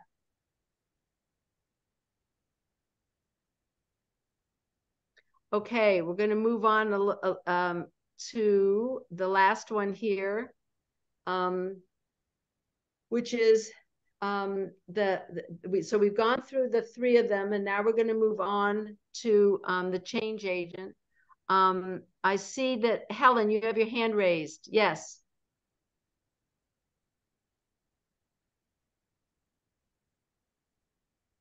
Yeah, so um, I will. There's the Berrig, Berrigan uh, tradition. Um, I'm not saying sure if I'm saying his name correctly, but Molly Rush, one of the founders of the Thomas Merton Center here in Pittsburgh, um, took part in. Um, uh, they broke in and they basically hammered a missile. Um, it was, you know, it was to so in that case, property destruction was part of a longer, well thought out campaign to really highlight the destructiveness of that object. You know, it was it was an object meant to deal out death. So I do think that there are forms of property damage which, if carefully considered and they're part of a you know a much larger, careful messaging and education and um, you know, overall campaign can be constructive and can be effective. Um, so I guess I would just worry about completely dismissing um, property damage as a potential constructive method if carefully considered very in a very respectful way um, with others who are you know trying to achieve longer term goals. Thank you, Helen. I think that's a very good point. Let me make a distinction. There's a distinction between the Berrigans and plowshares and a lot of other smaller groups that have done actions that have long term been involved with the issue, have planned among themselves, carry it out very confined with just that group, make it very clear what they are doing. They've never uh, destroyed anything where people have been hurt but they do destroy property. That is a different kind of action. It's not better or worse or anything. It's just a different kind of action than getting a large group of people from anywhere from 50 to 2,000 people involved in some kind of a demonstration. Um, when that turns, when a large group of people get involved who've not thought about this a long time, worked together for a long time, planned it together, and that's where things can get out of hand with destruction um, where somebody starts you know destroying one thing and then something else gets destroyed. And then people start thinking that's okay and their feelings get yeah that and that those are two very different kinds of situations. So i think that's very good that you brought that up. I'm going to respond to what's being put in the chat. So simone saul um, says when marginalized people take to the streets to express their devastation and anger, do we consider them ineffective and police them within our protest movements? And Sierra writes, I think it is a privilege to be patient and act calmly and within organize within organizing. I'm not sure if I'm getting that right. Anger and violence as a reaction to state violence cannot be suppressed. So how do we allow space for them to? And I will bring up so um, I've been a housing justice organizer for many years, and I've generally worked, you know, I was chair of the Affirmatively Furthering Fair Housing Task Force. I was a commissioner on the Pittsburgh Commission on Human Relations. So I've taken part in some housing justice protests and planning out in the street with Penn Plaza Support and Action Coalition and within. But so I, I will tell you as a commissioner, we fight to get the most basic civil rights uh, laws to be implemented by our our local politicians. It's it's such a fight. The the the the reason that the Fair Housing Act was passed, I will say, was largely fueled because Martin Luther King was killed and there was an uprising across the country of you know people that just who had been oppressed for so long rising up and rioting. And so Washington looked at that and they there's so much writing, so there was so much there was fear that they had to do something. they had to make to actually pass the Fair Housing Act because there these uprisings were th- that visceral response of grief and rage was so powerful so I, I understand that your purpose here you know we're talking about how to build movements and we're looking at different roles. I just i do think that respect does need to be given to those people who rise up in those moments. And you know that is also powerful and there is something to be respected about it.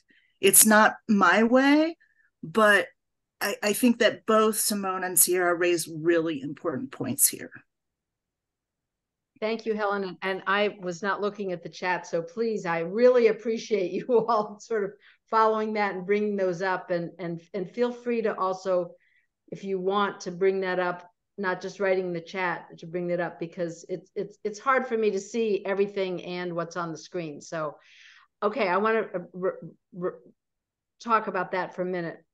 Um, I think there, yes, you're right, um, Helen. This is about building a social movement and that outpouring of anger that happened that pushed the housing happened. And yet the housing stuff would not have that that what was passed would never have happened if there hadn't been a strong very organized movement that knew what it was doing and was able to take that anger and put it into a really push for what was needed because of the reformers had done their work. The citizens had done their work. You know what i'm saying? All of this had happened. So that had a place that that extra push that came from that. And frankly yes that's what happens. We when when people do not have a place to put their anger and they have been oppressed i'm not going to get into internationally now but i we all have that in our minds that's what happens. You know that is what happens. What what what what we see and happens at time and time again. So langston hughes said it you know what happens to a dream repressed okay? So that is there's no by stating that it's important to have a strong movement does not make any statement about what people do when they're pushed to their limits I, I hope that sort of answers both of that. That right now we're focused on the piece of it that's the organized piece, and it is not making a statement about what other people do when pushed beyond their limits. I do want to say something though, which is that in Oregon, in Portland, Oregon, when a lot of that uprising was going on in Portland, Oregon, the African American community had to finally ask the middle class white community that was doing a lot of the destruction every night to please stop. So there is a difference also between those who've been oppressed so long that they up they, they they their anger just comes out and people who are just feel and I'm going to be kind of blunt about this, feel entitled that people should be listening to them. And if they don't, they're just going to up the ante because they're pissed as hell that they haven't been listened to. Those are two very different things. And when you um, are part of a group that just feels like you know better and that you know you're just going to do what you need to do and you don't care what other people in the movement are doing that's more and what we were talking about the rebel over here that's that that's more of that kind of that that comes from a privilege not from oppression. So and Penn, these dynamics that you're speaking of seem so consistently a part of human nature. Do we train teams of people to kind of come in and intervene at that stage of crisis before the fire starts before the destruction begins? Uh, do we, does the movement include people who are capable of resolving that level of conflict, that anger before it erupts into material death and destruction? Within within our abilities, we do have training for peacekeeping. Yes. We do have training for that, but that does not answer. Peacekeeping answers what's going on in a demonstration or in an action that's happening where you want to keep the people who are there from being ineffective rebels mm-hmm.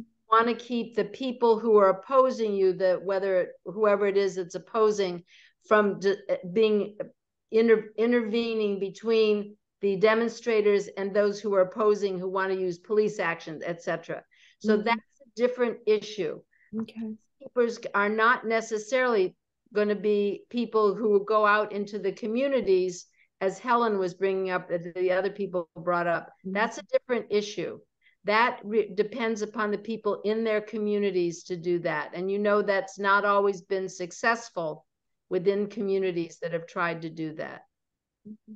but yes the peacekeeping and training i mean people should be trained in nonviolent direct action people should not just take part which was not happening under you know, during the summer after uh, uh, the the assassination of Black Lives Matter. A lot of training did happen, but there were a lot of people who were not trained. Yeah, because mm-hmm. when things when there's a trigger event that which we'll get into what trigger events are. Mm-hmm. Thank you. Yeah, I'm going to move on, and then we're going to because I I also want the other speaker to have time, so um, we're going to move on here. So change agent. Um, uh, let's see, who is not, uh, Kate, would you unmute yourself and just read what's under change agent? Sure, change agent uses people power, educates, convinces, and involves majority of citizens. Mass-based grassroots organizing, employs strategy and tactics for waging long-term movements, promotes alternatives and paradigm shifts. Good, thank you. So the change agent, they're the networkers. They're the ones who know all the different groups who are involved and can go and talk with them and ask them to start working together. They're the ones who um, can help set up people to be able to go out into their communities and really speak with people who may not be already convinced of some issue. But how do you speak so we build our base larger? Um, they're the people who have a sense of when it's time to pull people together, when it's time to be quiet and help each each group kind of build up their own ability to um, do their work. Those are the people who are the networkers. They're often not the people, as you as I said before, they're the ones behind the scenes more. They're then also not often not the ones. So you often don't know, but those are the networkers. Any anybody who has been a networker, can you speak to that? Just unmute yourself.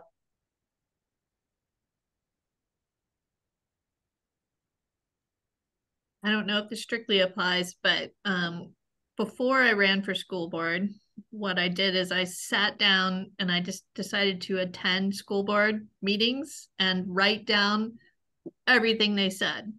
And then I published it and sent it out and I started to build an email list and it really pissed um, off the school board.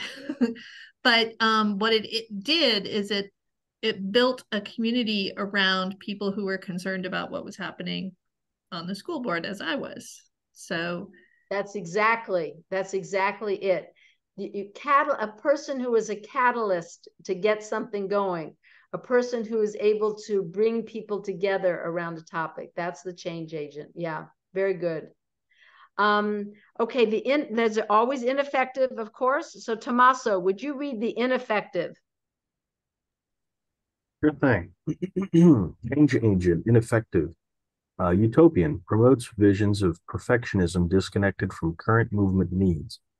Dogmatic advocates single approach while ignoring others ignores personal needs of activists, disengages from movement to live isolated alternative lifestyle. Okay, so I want to, in particular, do this uh, ignores personal needs of activists. This is not just the change agent. A lot of us do that to ourselves and each other, and it's very destructive. It's understandable, completely understandable. I live in an area out here where there are not many of us who are progressives who are working on different issues. And so if somebody says, oh, I need to take a break, you feel like, oh my God, that just means more work for the rest of us. So I understand why people don't either for themselves or others, but it is a very negative and very long-term destructive way of, if when when we do that when we don't support ourselves and each other to take the time we need. This is a long haul. This is not a sprint. So we really need to take the breaks that we need. We need to step back when we, when we're tired. We need to be honest about what we can do and want to do and what we can't do and don't want to do. Though that that is hard to do but it's very important because when we don't do it we look like to other people outside like a group of tired wrung out people and that is not a, something that draws people in you don't you don't want to look like a group that is not having a good time and is overworked and is tired that is not a good pull for bringing new people in. So it's not only as important to ourselves, it's important to the organizing that we do. So I just wanted to bring that one, that one out in particular. Any other thoughts about that, what I just said, or anything else about the ineffective? Just unmute yourself and please speak. I feel like I've been speaking too much, but I'm going to jump in again. Um, I that's something I really respect and honor about the solar punk movement in some ways and a lot of environmental activists that I have seen in different spaces. Um, the idea of dealing with climate grief and that we really have to center healing. Like we need to heal ourselves before we can heal the world. And centering that and ma- and making sure it is okay for people, like genuinely deeply okay for people to take care of themselves is so vitally critical in my mind. Yeah, thank you. Yeah. Thank you on, on that. Um, so it, it's a, a, little before six. Um, I'm going to suggest that we do another one of our stretches. And then um, when we come back, I'm going to have Maren introduce. Uh, Kidest, are you here? I, I'm trying yes. to. Oh, good, good. Okay, great. Um, I'm going to suggest that Kidest, um, are you are you okay for for speaking then and for talking yeah, about yeah. Yes, I will definitely share with you all um, my experience with um, becoming an age uh, uh, change agent, um, going beyond um, the the rebel to actually become an active um, uh, change maker. So, yeah, that's great. That's great. So, um, stand up, stretch a little bit, do what you need to do, and then um, when we come back, Maren, if you would introduce Kidest, and we'll uh, she'll uh, share her experiences and then we have much more ahead but i wanted to make sure that you uh, get on so um okay so stretch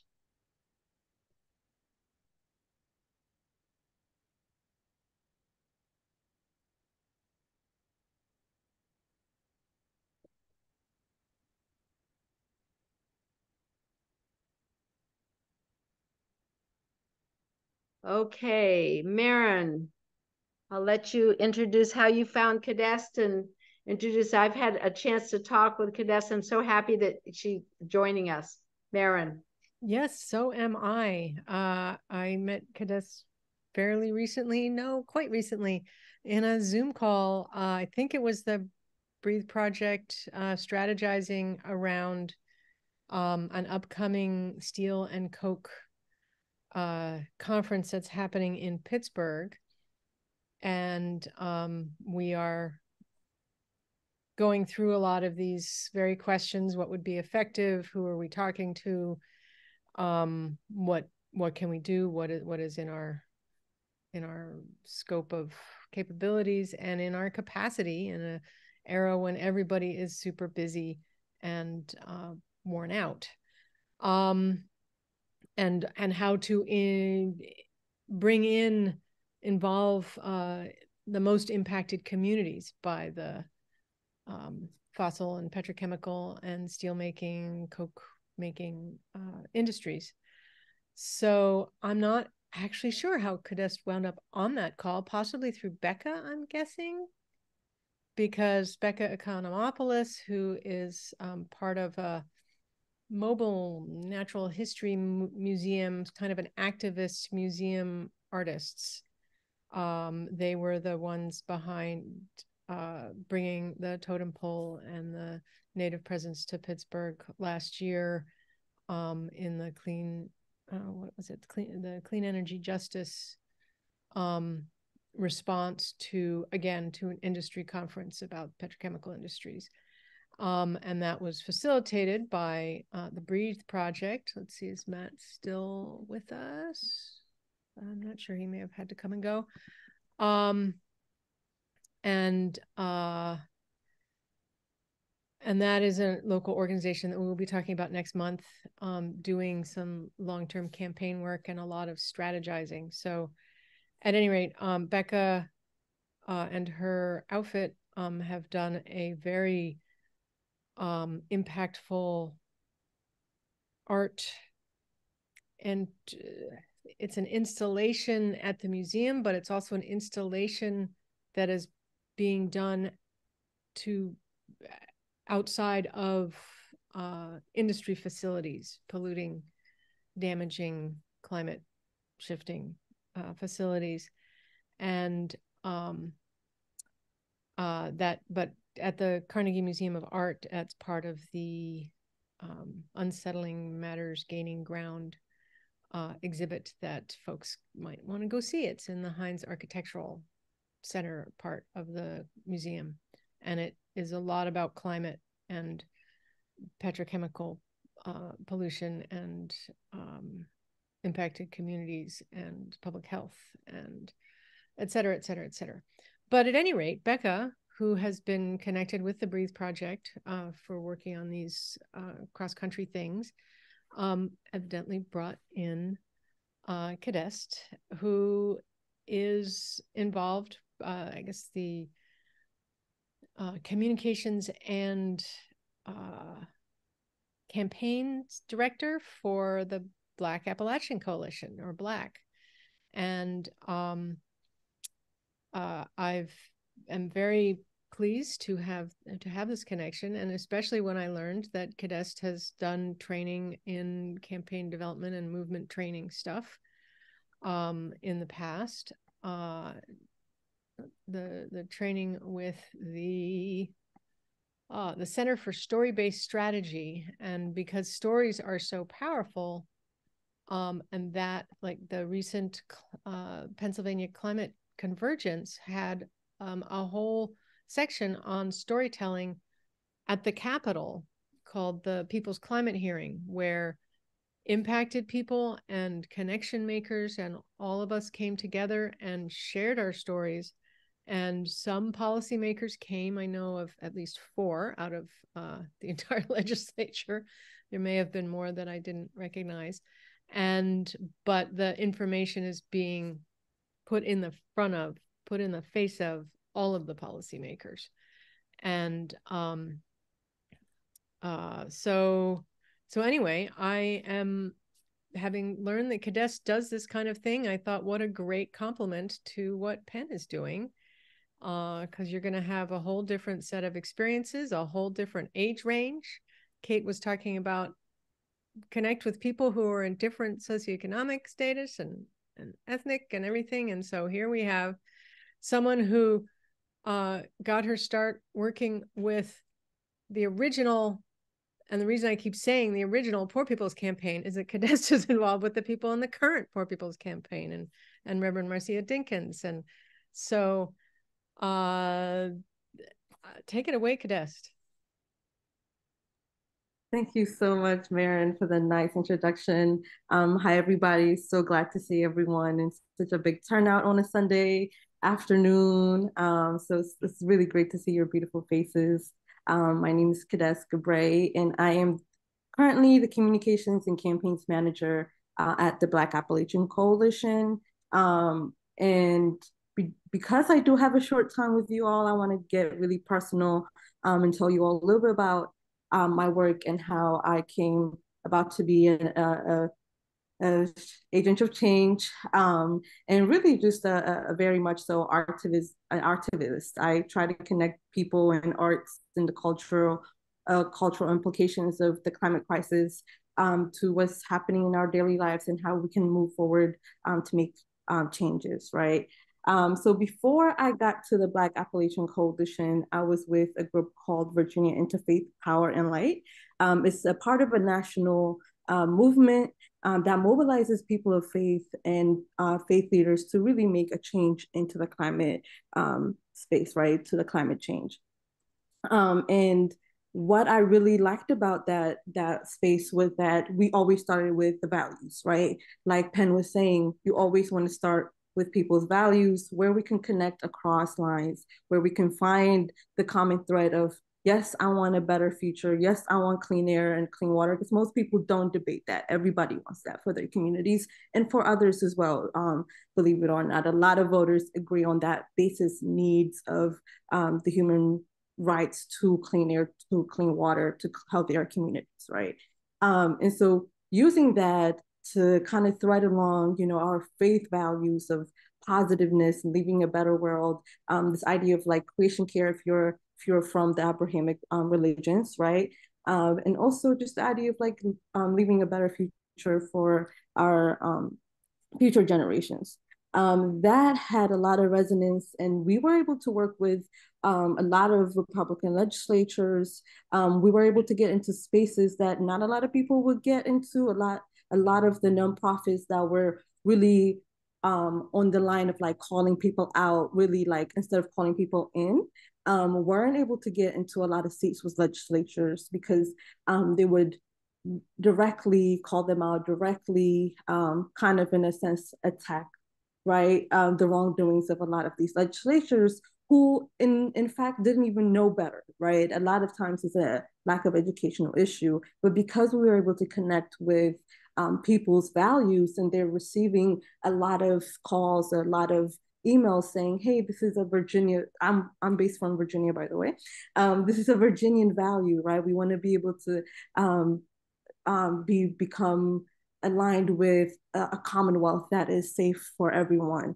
Um, and so that message, because it resonates with a lot of people, we were able to also then change a lot of the legislature heart and mind. And to we were one of the first few states. I think we're still a, a few states who were able to pass an environmental justice bill into the code.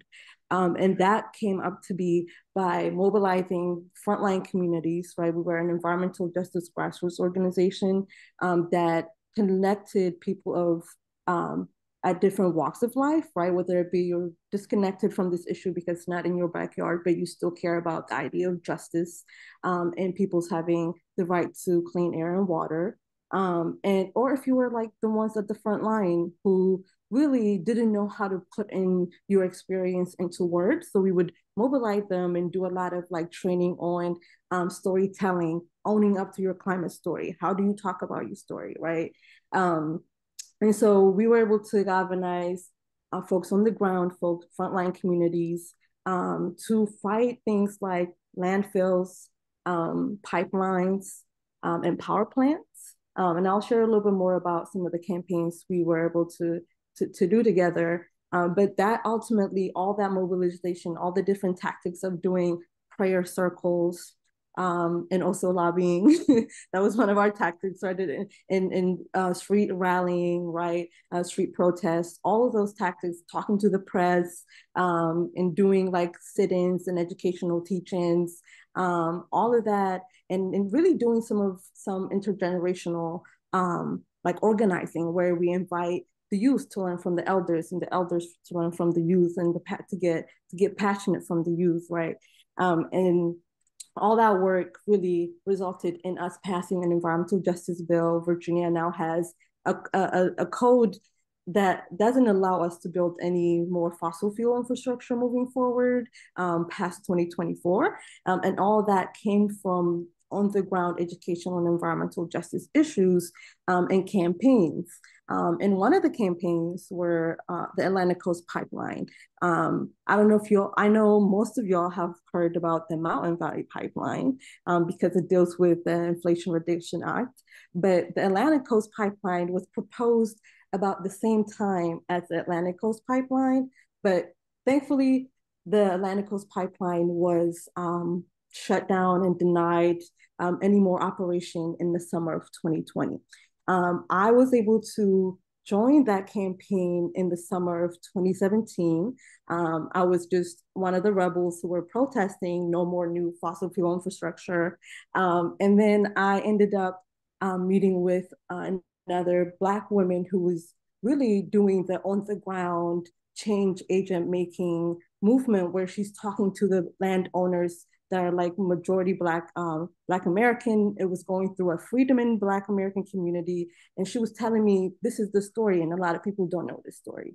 Um, and and a lot of the rebels who were on the streets just know that they don't want a pipeline but they didn't know exactly um, the situation behind it the powerful narrative behind um, this this um, landfill uh, not landfill uh, this pipeline. And so what we ended up doing um, was having one of the impacted folks just to come up and speak. And I was part of this um, this organizing space that I didn't know was an organizing space, just talking about how can we um, use the arts to bring in more people to show up to these rallies. Uh, but I ended up uh, becoming part of the a strategy kind of meeting where we're talking about how do we organize the community.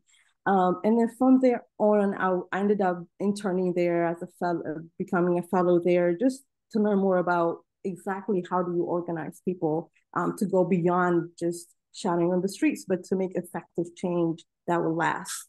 Um, instead of saying no pipeline and then ending it there, how do we actually make sure this pipeline doesn't get built, right?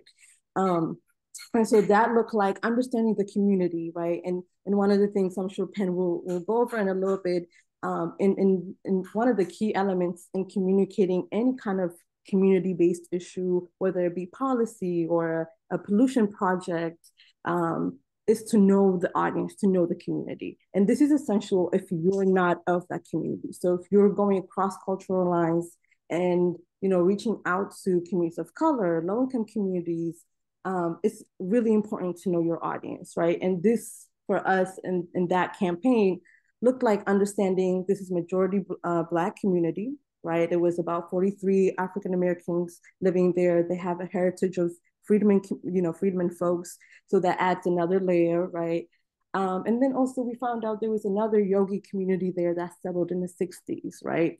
And so there was that dynamic there. Um, it was a bunch of pastors that were of the Baptist tradition. And then we also found out the yogi community. So then because we were an interfaith organization, we decided to know how do we frame our issues effectively? Um, and that kind of came about beyond just understanding our communities. How do we get their attention, trust, really important, and their support? And that was just figuring out our framing of this issue, the messages that will resonate the most. And that was about, you know, protecting your community, um, folks who really didn't understand what the yogis were doing, folks from the, the church who didn't know what the yogis were doing in the community, we're now doing a prayer circle with them to talk about protecting the land, um, protecting creation care, which is that, which is the framework that work with the church community, right? And so, and with that being, then we started then talking to folks to use stories as sets of uh, as a way of uh, influencing folks um, and as a way of grabbing other folks that weren't already kind of brought in from the values. Um, some folks were to jump in because they see the value that connects with them, but some folks weren't really convinced just yet, right?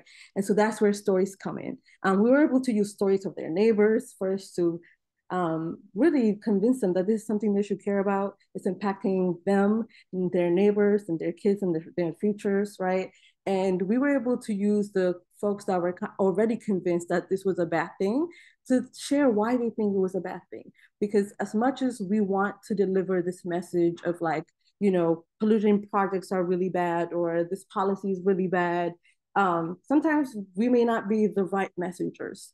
Um, and even though we get the message, we may not be the right messenger. So that's where also stories come in because then you have different messengers delivering your issue um, and, and communicating that properly. Especially when you're talking about justice and marginalization, it's, oh, that's when it becomes even essentially uh, more important because you would want to, to have that message coming from those directly impacted. Um, and that also later will help you um, become just a, a, a, a change agent and not necessarily the activist who owns the whole story, who um, can only be the one who's making change. You're now then empowering people to feel confident in their stories um, and to feel empowered enough to organize even after you know you're not in that community working with that community anymore. Um, and so what happened within our campaign, once we started collecting stories, that's when the press started paying attention to this, to this pipeline, right? We started highlighting the fact that this is a freedom and community. Instantly, press are like clamming on it, trying to find out more. Why was even what is environmental justice? What does that even mean for Virginia? Um, and all of that, that conversation got sparked because people started telling their stories. Um, we were uh, I don't know if you all are familiar with compressor stations, but compressor stations are where a lot of the pollutions from pipelines happen. This is where the blowouts of all those chemicals happen. Um, and a lot of them, a lot of compressor stations in the US and in, in Virginia as well are located in Black and Brown communities. And, and in this pipeline, it was going to be one of the biggest one in this in our in the state at that time at that time. And we were shocked to find out it was only 200 yards from an elderly person's home. So we ran with that. We we started highlighting that. We started giving more time to this person who's going to be right in the face of this compressor station to tell her story, to empower her. And this was a three-year campaign, y'all. So we we started in 2017 and folks were organizing before I got there since 2015, 2016, or maybe even 2014. Um, and then the, the, the fight finally came a close in 2020 when the press got involved, when community voices were raised up, um, when we were telling a specific messaging with this campaign. Um, and now that community currently is, um, they call themselves Friends of Buckingham. This was in uh, Buckingham, uh, Union Hill, Virginia. Uh, was a rural place. Um, and now this community is organizing with yogis and some of the Papyrus folks, and they're currently working against gold mining um, in their community, which is something that they know now how to do. They know how to get that presentation. They're doing that on their own without the presence of my organization, you know, the organization that I worked for being there. Um, and so that is how we want to be um, making changes. That's how you become an agent um, in, in change making because you would want to be the one to give people their voice, highlighting their stories, um, framing issues effectively because that's where a lot of folks they know that something is bad, they just don't know how to frame it, right? Um, and yeah, and and to just avoid overloading your message and your campaign uh, with facts and data, they become important at critical moments. But using stories to really galvanize folks and to empower folks. And I know I have a little bit of time, so I'm gonna stop here um, and and just see if folks have any questions um, and give the time time back to Penn. Well, there has been some, let's see, I'm going to add spotlight to the two of you. Um, there has been quite a lot of discussion in the chat. It's been, uh, I have a hard time interrupting when something is going along so well, but there's a whole lot of other stuff that maybe we can um can address. I'm not sure uh how much of it is since the But while you're looking, Maren, I just want to say, Kidest, I, I just get um, shivers up and down because you you put into real life what I'm about to, you know, what I've been talking to people about and what, and that's where the excitement comes when you really can implement it, and especially when you implement it really well and it works, which is mm-hmm. what you've been involved. And it's so wonderful that your organization is not only has the idea of what to do, but the idea of each one teach one. You know, we're passing this along. That's the important piece. And so I just, I loved your story. I just loved it. And I'm sure people have questions. I, I haven't been following the chat, so I guess, um, but are there questions that people have? Um, in the the bigger picture, uh, there's discussion of the value of electoral politics, the advisability of third party voting, um, and the question. Folks were also talking about the property destruction question. Um, what's the difference between chaining yourself to a bulldozer and burning one? Um, to which I offered the notion that burning one is more permanent, but only for that machine. Chaining chaining yourself to a bulldozer only lasts until they unchain you. Burning one is permanent, but they'll just bring in another bulldozer. So the rationale there would be to cost to cost money by the on the part of the company. And the question is, is are the consequences of doing that or is is that worth the consequences of doing that? Is that the best use of your energy? So that was one one line. And then the fringe position in electoral politics whether to vote for the lesser of two evils. Um, penn hackney kindly posted a uh, piece by noam chomsky which i have not had a um, chance to go look at, but I think he is in favor of voting for the lesser of two evils. Um, as far as I'm concerned, voting for the lesser of two evils is necessary because the more, the greater of the two evils is not going to change anything and is probably going to make it worse. So, um, yeah and helen kindly brought in the uh, question of when marginalized people in particular take to the streets um, and helen did interrupt um, thea has something to offer yeah thea and then uh, simone mm-hmm.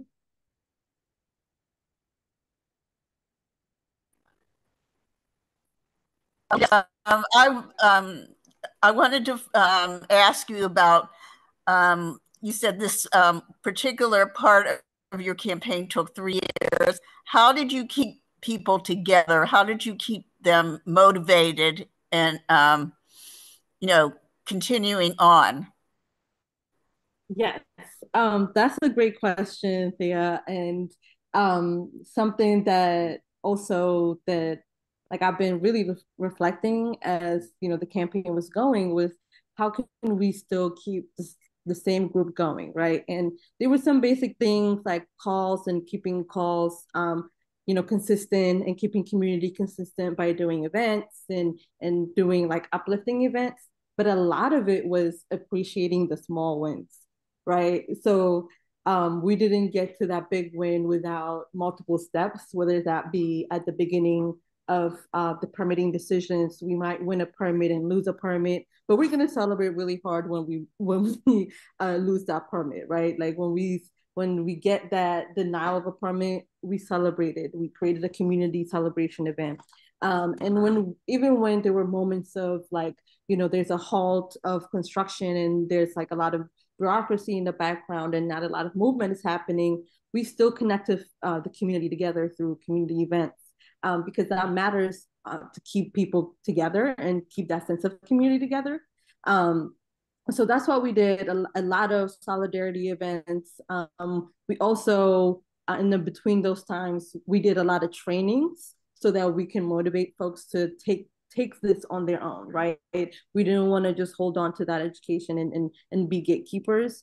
Um, so in that in that quiet moment, we were preparing for when something big was going to happen, um, and that looked like training folks um, to know more of the technical terms, um, to know more about the the way how public comment works, um, and, and other small technical um, details, or even the larger things of like what is climate justice, like wh- where do we fit in in this context of like larger climate movement, and we're just a small, you know, rural community in Virginia. Uh, but what does it mean? What does this pipeline, uh, what's the implication of this pipeline to the larger um, climate crisis? And what is the climate crisis? Because these were a lot of rural Black folks who um, didn't have that education, didn't, didn't really understand that. So that's how we were able to um, keep the community together. Okay, and Thank Simone. you. Simone?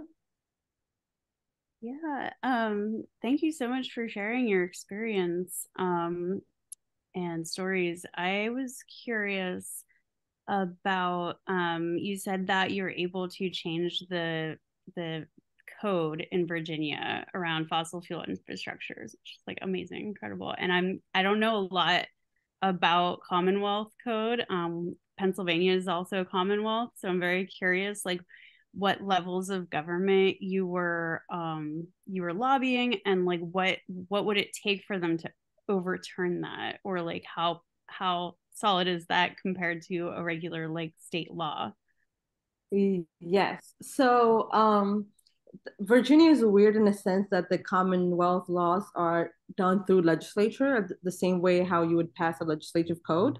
Um, so we were able to, and we're also weird in the sense that um, we have elections every year. So that makes a lot of like these legislative legislative changes um, like kind of fleeting and almost subject to change every other year if you lose that that champion for you know environmental laws. So what uh, we've been doing um, is timelessly educating legislatures, and we did the same thing. We use stories instead of facts because legislatures sit through a bunch of meetings and what stays with them is not the 1 million number or like the 200,000 number that you were, telling them. What stays with them is that, you know, that person or that ho- uh, homeowner um, or that um, impacted community member coming in and saying, hey, um, you know, I'm ha- paying too much in electricity bills, or this pipeline is going to destroy uh, my 100 plus year land that's passed down for generations to me.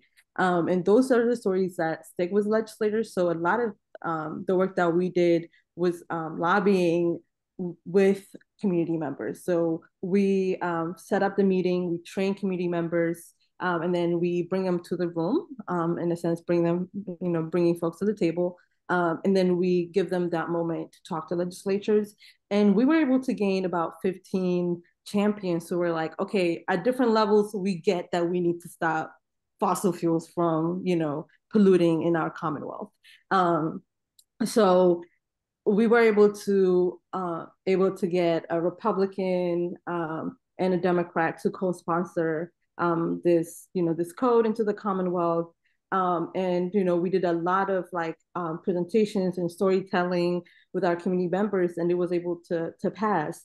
Um, but we do have an anti-climate um, governor right now, and, and there is a chance that this could be vetoed, this could be changed. Uh, other legislature is continuously, since this passed in 2020, we have seen and defeat, like defensed a lot of um, bad bills that were attacking this legislature as well. So this is something that, you know, with system change, when you're trying to make a systematic change, um, you're gonna have to roll with where the wheels fall. Uh, and we we got we got um, we got we kind of got bad luck um, during the governor race. So so we're trying to work, you know, even with him to make sure that uh, we find common threats and um, and even then, you know, he still supports um, a lot of like uh, we have a, a we're a utility monopoly state, um, and and he's very anti-monopoly, which is you know it kind of also supports our cause of making sure people have fair energy bills. That's where we have the threat now. Um, but we're still defending a lot of uh, bill, bad bills attacking um, our, our code that protected us from um, fossil fuel build out. Mm-hmm. One uh, question, uh, quick question that came up in the chat is whether Virginia uh, has a similar problem that we have here where the committee chair um, can prevent bills from going out. No, no. Or um, even prevent bills from being heard in committee. No, no, they can't do that. Um, that's not. Uh, that's really crazy.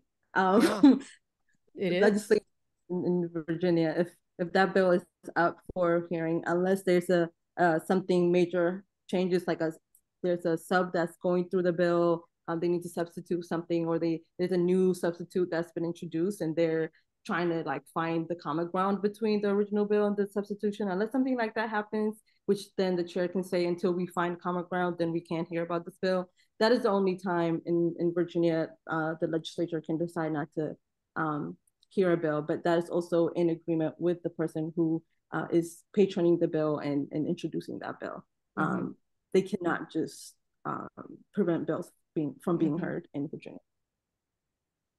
Okay. Uh, comment. Um, uh, Susan loves the focus on stories bringing people together, and then that community, after it's formed, is itself a change agent, and that's just yeah.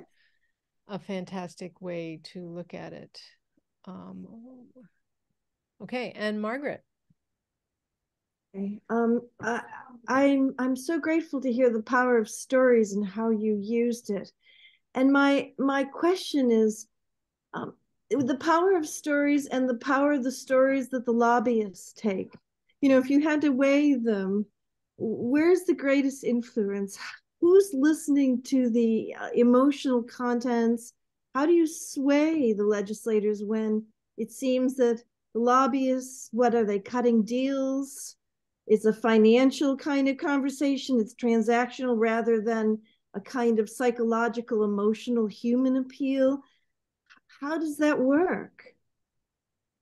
Please forgive yeah, me um, that's a great question and, and something really really hard to to kind of cut through because um, I'll, I'll, give an example. Um, i was working on uh, a disconnection protections bill one of the things that virginia really lacks um, is that we don't have whenever we have extreme weathers, we don't have any protections for low income families or people um, that are struggling to pay their bills to kind of have a cushion of not getting their power or water or gas cut off. Um, they just automatically do that. Um, and some some utilities do have good faith and, and they do give you some cushion before they cut it off. But we wanted to change that, right? Change that bill, that code in through a bill. Um, and you know, this was a very, you know, the framework that we used was that folks shouldn't have to um, debate whether or not to spend their uh, monies on a light bill or their groceries um, or their coats um, during the, you know, the winter times. Um, and a lot of families who do have infants, you know, and, and elderly, they just need basic protections, right? Um, and we invited a lot of folks. We were um, uh, on the public press um, talking about how some of folks, some, some low income families were dealing with astounding bills like 2000 uh, 5000 7000 just in water or energy bills. And we got these folks uh, whether it be anonymously or you know in, in person to come and share these stories. Um, we had some folks on tv and, and, and so on right? Especially when you're thinking of like you know press um, press folks love to talk about like what's hot in that in that in that season. And when it's winter time you know, people going cold is always going to catch people's attention. Um, and we were able to convince some of our legislature through those stories, right? Um, and we were strategic enough to um, reach out to publications that are like in communities where some of the legislatures weren't like pretty convinced.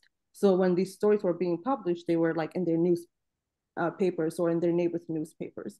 Um, and we were able to convince some folks. Um, and then once it was time to do a stakeholders meeting where we're inviting different utilities, um, some of the utilities were claiming that they do this already it's in good faith that it doesn't need to be in the code because they're already doing it. Um, and our response was if you're already doing it then being you know having it in the code shouldn't hurt that much.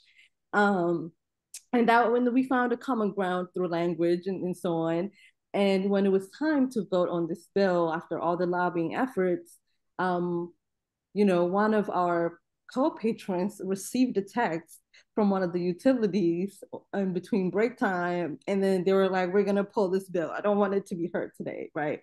And that was really heartbreaking, and it was it was very frustrating because at that point, um, this was a Republican person. They weren't convinced, they, and then we convinced them enough to patron this bill, co-patron this bill, um, just for them to kind of, you know, change their mind last minute. And, and those things happen. Um, and, you know, and th this also to emphasize Payne, uh, Penn's point about campaigning can take a long time. It's not just a win or lose and then you give up, right? Um, we were able to gain a lot of support for the for this issue and for the bills that we introduced. That was a win. We were able to get this out in the public's space. That was a huge win. People were talking about this as an issue. Um, we were able to change some voters' minds, right? Um, and those were wins that we were able to carry it away and then um, and, and gracefully take some of the losses of not being able to win this in the code. Um, and we, have been, um, as far as I can tell you, we've been trying to pass this bill for three years. Um, so uh, I think going on fourth year now. So um, yeah, I, I I think as much as you can tell stories, as much as you can try to persuade people, because numbers don't persuade folks, especially people who are decision makers. Um, people's stories um, and a lot of these folks are decision makers are not trained in climate science. They're not climate scientists. They're not even close to being scientists. They could be working at a whole nother day job. Um, so you have to talk about the the peopleness of this, the, the people issue um, at, at the heart of this, right? Um, and and take some of the wins because you definitely the lobbying and the monies and and and the corporate um, the corporate definitely have their their big hefty pockets to to have um, some wins, but you have to also recognize you have people power and and just um, and always on to that always. Yeah, getting stories and getting uh, kids' stories are particularly powerful um, because they can't vote, uh, but they're the ones who are going to be living out the future that we create. So, uh, and young people in general, of which you are one. You're very easy compared to some of us. Um, yeah, any other questions for Kidest or shall we? Up oh, another one. Uh, do you see any connection between your pipeline campaign and the Standing Rock pipeline history? Yes, absolutely. Other than the fact that they were happening um, in, in tandem, right? Um, the fight in in Standing Rock um, was happening at the same time as the the fight with the Atlantic Coast Pipeline at, at certain at, certain aspects. Um, and what we were um, trying to pull into was the fact that this is an environmental justice issue. Um, this is where I believe the Atlantic Coast Pipeline was definitely the catalyst to embedding an environmental justice law into Virginia um, because we were able to make comparison to what's happening in Standing Rock um, and how you know indigenous peoples and and their right to their land and and being able to uh, be at the margins of you know in our society and still having to fight um, to keep some of you know their land um, and how that ties into um, the black folks in Virginia that are like at the at the front of at the front line of this Atlantic Coast pipeline fight that are that were able to gain their freedom and their um, their freedom of their families through the Atlantic, uh, through buying this freedom in land. And now this Atlantic Coast Pipeline is, you know, threatening that freedom. So there was this, the, um, this up, uplifting of the connection of environmental justice and the struggles for environmental justice between both communities. And then highlighting what is environmental justice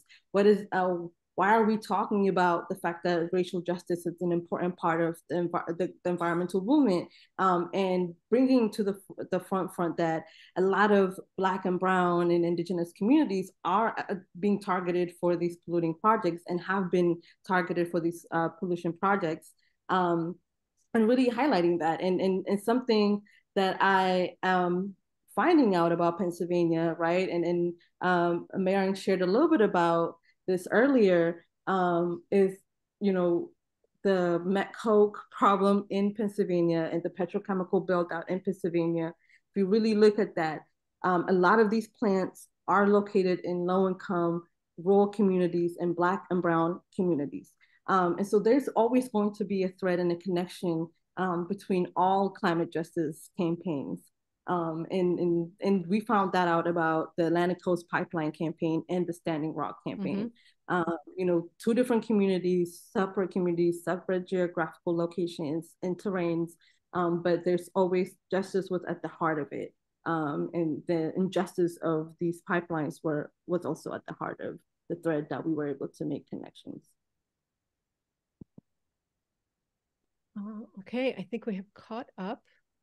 Um, yeah, the the whole idea of environmental justice or environmental injustice is if you are a corporation, you're not going to want to fight off rich people's lawyers. You're going to go where people can't afford to fight off uh, a facility, and then the people they they also can't afford to move away.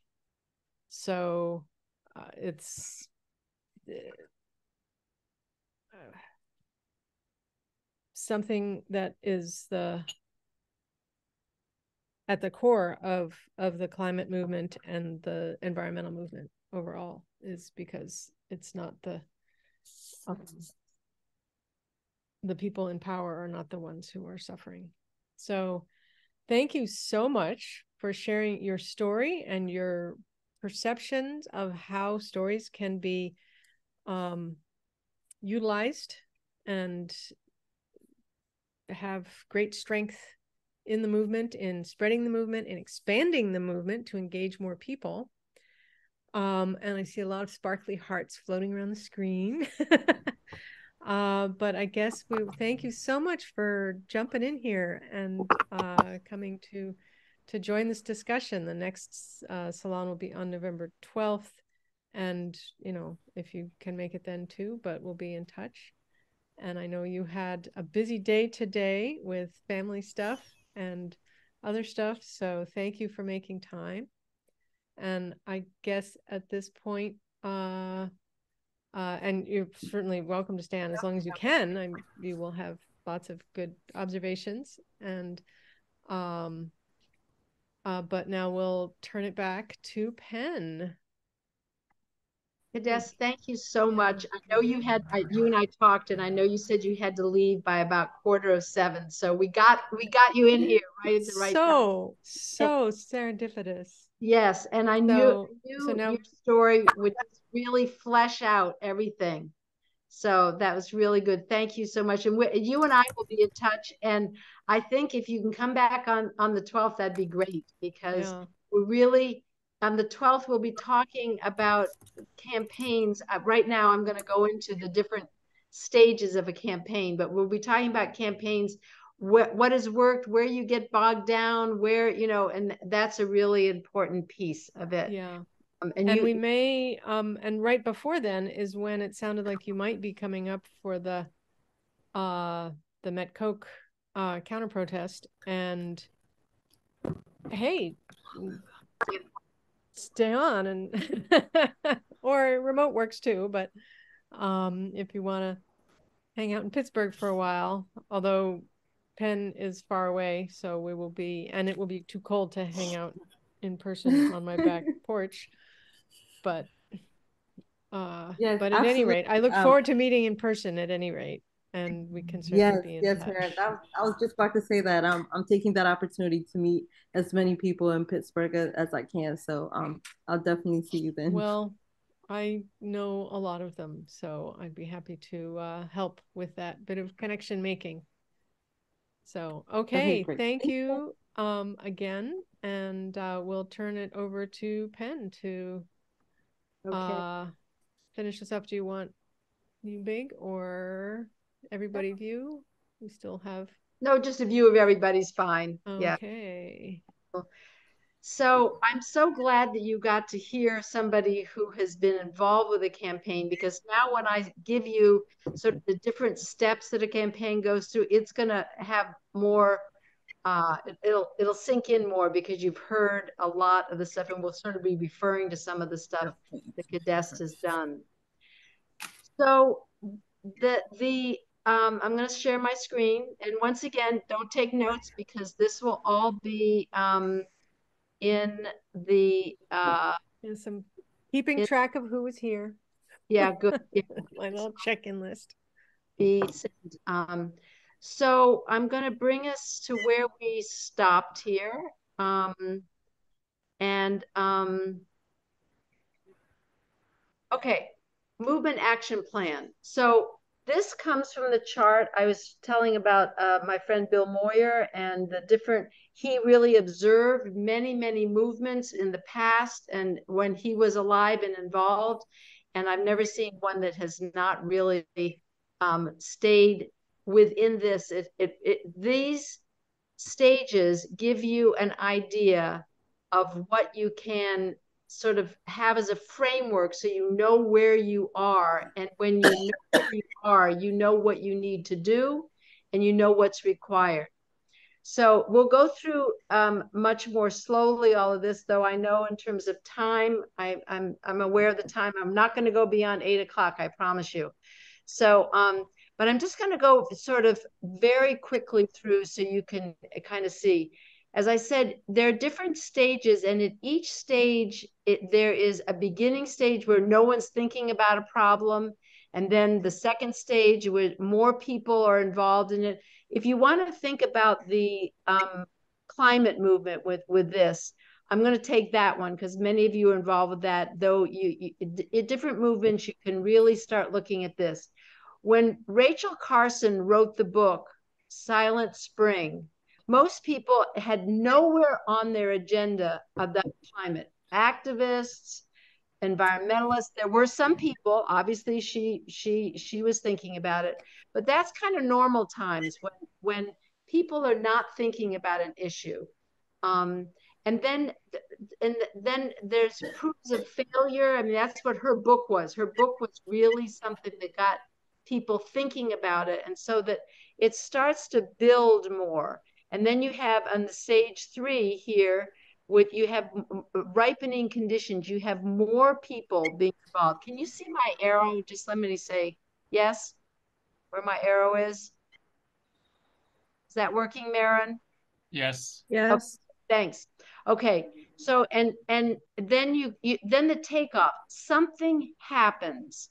Something uh, obviously with Black Lives Matter, we know, um, but something happens and there's a takeoff then from there, you go into often people feel like after the takeoff, it dies down. People are out on the street in the takeoff, then it dies down, and people feel like there is a failure going on. It's not. Really, you should just miss this one, this sense of failure, and go right to majority, um, the public opinion. And that's, we're going to talk a little bit at the end of this evening. We're going to talk about that one because that, in my opinion, is where we are in terms of the climate movement. And this is the most detailed, the longest one, and in some ways um, the most complex. And that's where we are right now.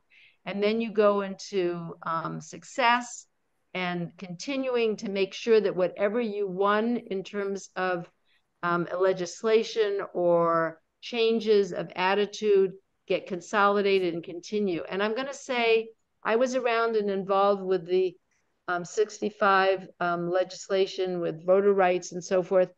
And we sort of, we made a mistake, which is um, we, I mean the movement, um, progressive uh, liberal movement that was pushing for these rights. We sort of felt like, okay, that's done. Now we can take our eyes off that and look to something else. And that was a major mistake. That's something that I think we should never do again, which is once things are consolidated, doesn't mean that those in power are happy with it. So um, that's one of the things. Um, so I'm going to sort of move along here um, and have us look a little more carefully at, at, at each one because, as I said, once you start understanding the the the stages that movements go through and what what is needed. It all is a lot clearer in terms of what is the work that needs to be done. So this is the normal times. Once again i'm going to go back to the issue of um let's see i'm going to I, I think i'm not going to have people read. I'm just going to talk a little bit through this.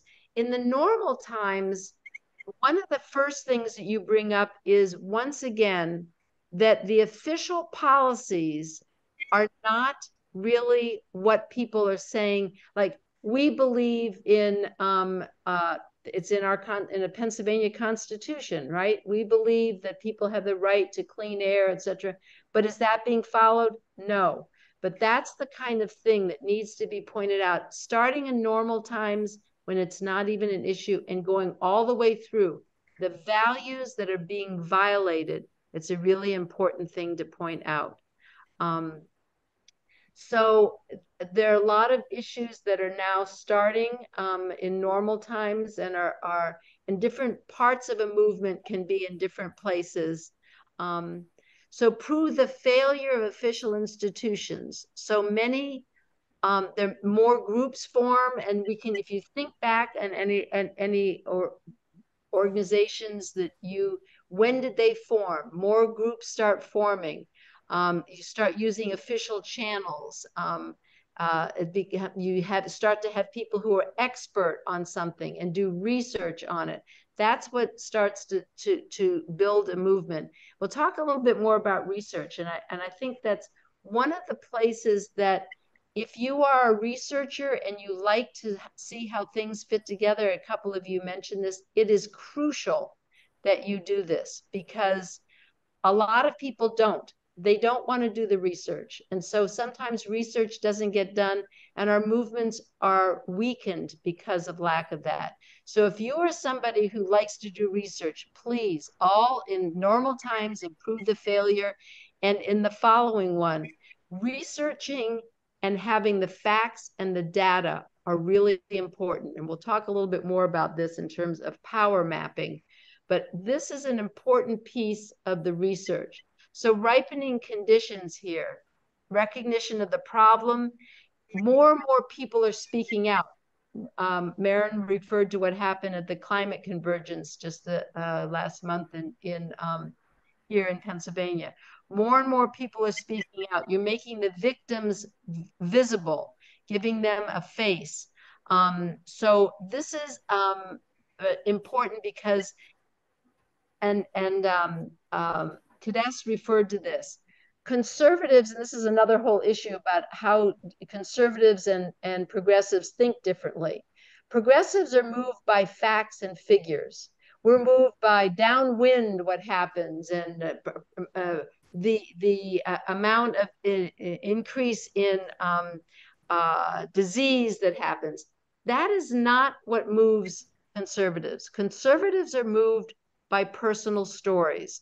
This happened to my family and this was the result that, that there's a, lot more that i could go into but i just want to mention that. And and Kidest talks about that that working with the uh, legislators that she needed to work with that they needed to work with giving them the facts and figures she said that's not what changes them. It's the personal story. So this is where the people who are telling what's really happened to them is important important, the data is important, but not necessarily when you're communicating. That's not necessarily part. I don't know who there, somebody who has their, their, um, if you would mute, there's been some noise coughing and so forth. Thank you. Um, so the ripening conditions, that's where about 20 to 30% of the public is opposed to what's going on. That's a small amount, but it's not an insignificant amount. And this is also where you start to have people during during the ripening conditions, you start to have people starting to protest, to be out um, with their legislators or on whatever level um, that they're protesting. Takeoff, trigger event, a dramatic event that happens. You never quite know. Three Mile Island here years ago, I'll tell the story. There was a group of us who were trying to stop Diablo Canyon um, from being built and we had all sorts of research and all sorts of things. There was nuclear power plant in, in Southern California, in California, and all sorts of research and so forth. And the first year we demonstrated, we had 50 people. The second year we demonstrated, we had 157 people. And then Three Mile Island happened. And it happened at the same time that a movie had come out um, called The China Syndrome. And in that movie, they said, well, if that happens, you could lose an area like the state of Pennsylvania. This happened be, right before Three Mile Island. When Three Mile Island happened, we went from 157 people to over 2,000 people who came. We couldn't train people fast enough to do demonstrations at the at the um, uh, uh, power plant that we had planned. So the takeoff, you never know. You have to be ready at any time.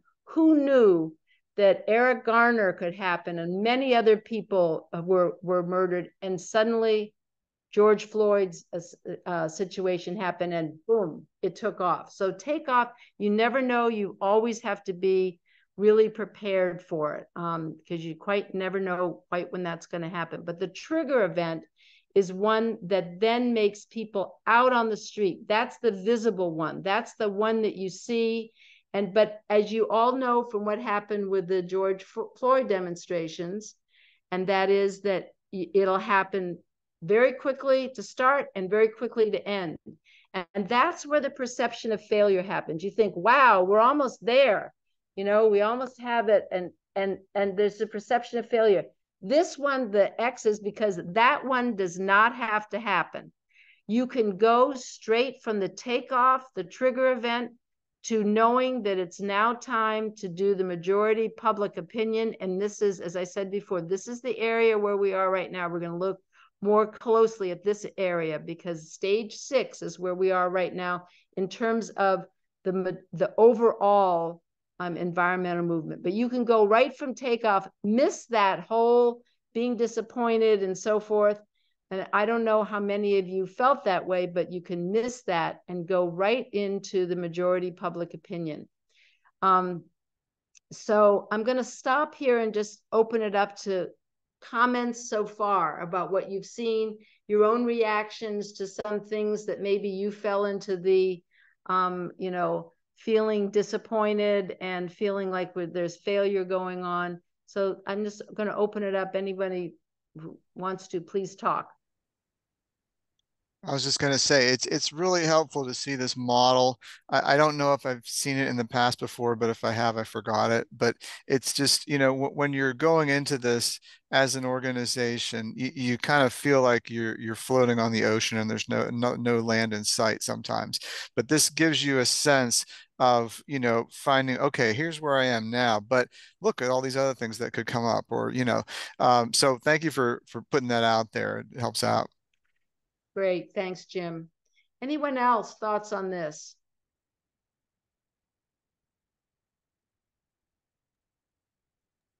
Well, I, mean, I like the idea that you have to like you don't know when the takeoff's going to happen. So you have to build and build and build and be ready because something will I mean, we're all working on important things. Something will happen eventually and there's a little bit of faith there that I think can be hard to hold on to sometimes. But that's this model is really great for that. Yeah, no, that's a really good point, Susan. And that's where all the work comes in. You know, what we see is the just the we see the demo we saw the demonstrations in the women's movement, or we see the demonstrations you know it with the with with with whatever movement it is that's what a lot of people only see that all the work that goes into it and being ready for the takeoff of the trigger event is really critical. That is what builds a movement as opposed to people just getting out on the street because something happened and they're mad in hell and they want to protest. That's fine, but that is not what builds and makes for social change. That contributes, but a one off demonstration may feel good but does not build. All this work is what builds. And we're going to go into more detail in terms of, of where we are in stage six. Um, any other thoughts? Margot, Margaret, you had to. Well, uh, you know, I almost hate to admit it, but, you know, I, I am discouraged. I'm at that, you know, stage where after all these years of, of watching, you know, and whatever I was able to contribute, I just feel like maybe I'm just burnt out, you know, this compassion fatigue that sets in after a while when you you see the situation more complex rather than simplified or whatever actions you took, you know, it's 40 years later and you're mm-hmm. basically still taking the same steps. Yeah. And it didn't prevent the crescent of fracking and it, it I mean all the stories of all the 40 years didn't stop you know the fossil fuel from its marketing campaign uh, you know so i i am needing a, a, a somehow a boost of faith right now that it's really the next 10 years of my life i'm going to be 70 the next 10 years of my life will have some impact but then they say you do it because it's right not because of the results that's interesting to me. Yeah. Well, you, you brought up a number of things. First, I just want to say thank you for being honest that you feel that way. And sometimes we don't admit that because we're afraid if we admit that we feel overwhelmed or like, why did we bother even doing what we did? Or eh, that somehow that's going to weaken us. It doesn't. Acknowledging what we're feeling is really important. And so that that I want to say that's first thing. Second thing is there are two ways of looking at an issue. One way is I call eagle vision, and one way is mouse vision. If you're working in an organization, you are probably doing mouse vision, which is think about a mouse. You have your eyes right in front of you, the work that needs to be done, the funding that needs to happen, the organizing that needs to happen. You are looking day to day, right as like a mouse right in front of you. Eagle vision means that you are up in the air and you can see the long haul that it's been, the people who came before you, and the people who you are working with and many, many different issues that are related. And you also see all the way that you are part, only a part. You're doing your part while you're on this planet to move society forward. That's an eagle vision. And mm-hmm. so many of us spend so much time on mouse vision with good reason. I understand why we all need to do that. I'm not saying don't do mouse vision because that's what gets the work done. But we need to take the time as individuals in our, if you have a spiritual practice or with friends or in a group, in your group, in your organization, we need to take the time to look at the whole eagle vision, which is we are doing our part. Sometimes our part is going to move things forward. Sometimes our part is only going to hold the line where it is. And sometimes we're going to get pushed back, but we're going to be able to grow and make sure that we're able to bring it back to where it was and then move forward. So many of us, I know I often feel that feeling of, oh my God. I mean, I worked with talking about racism and diversity and everything. I've been doing that work since I was 20 and I'm in my 70s now. So, yes, I can feel like, oh my God, am I still?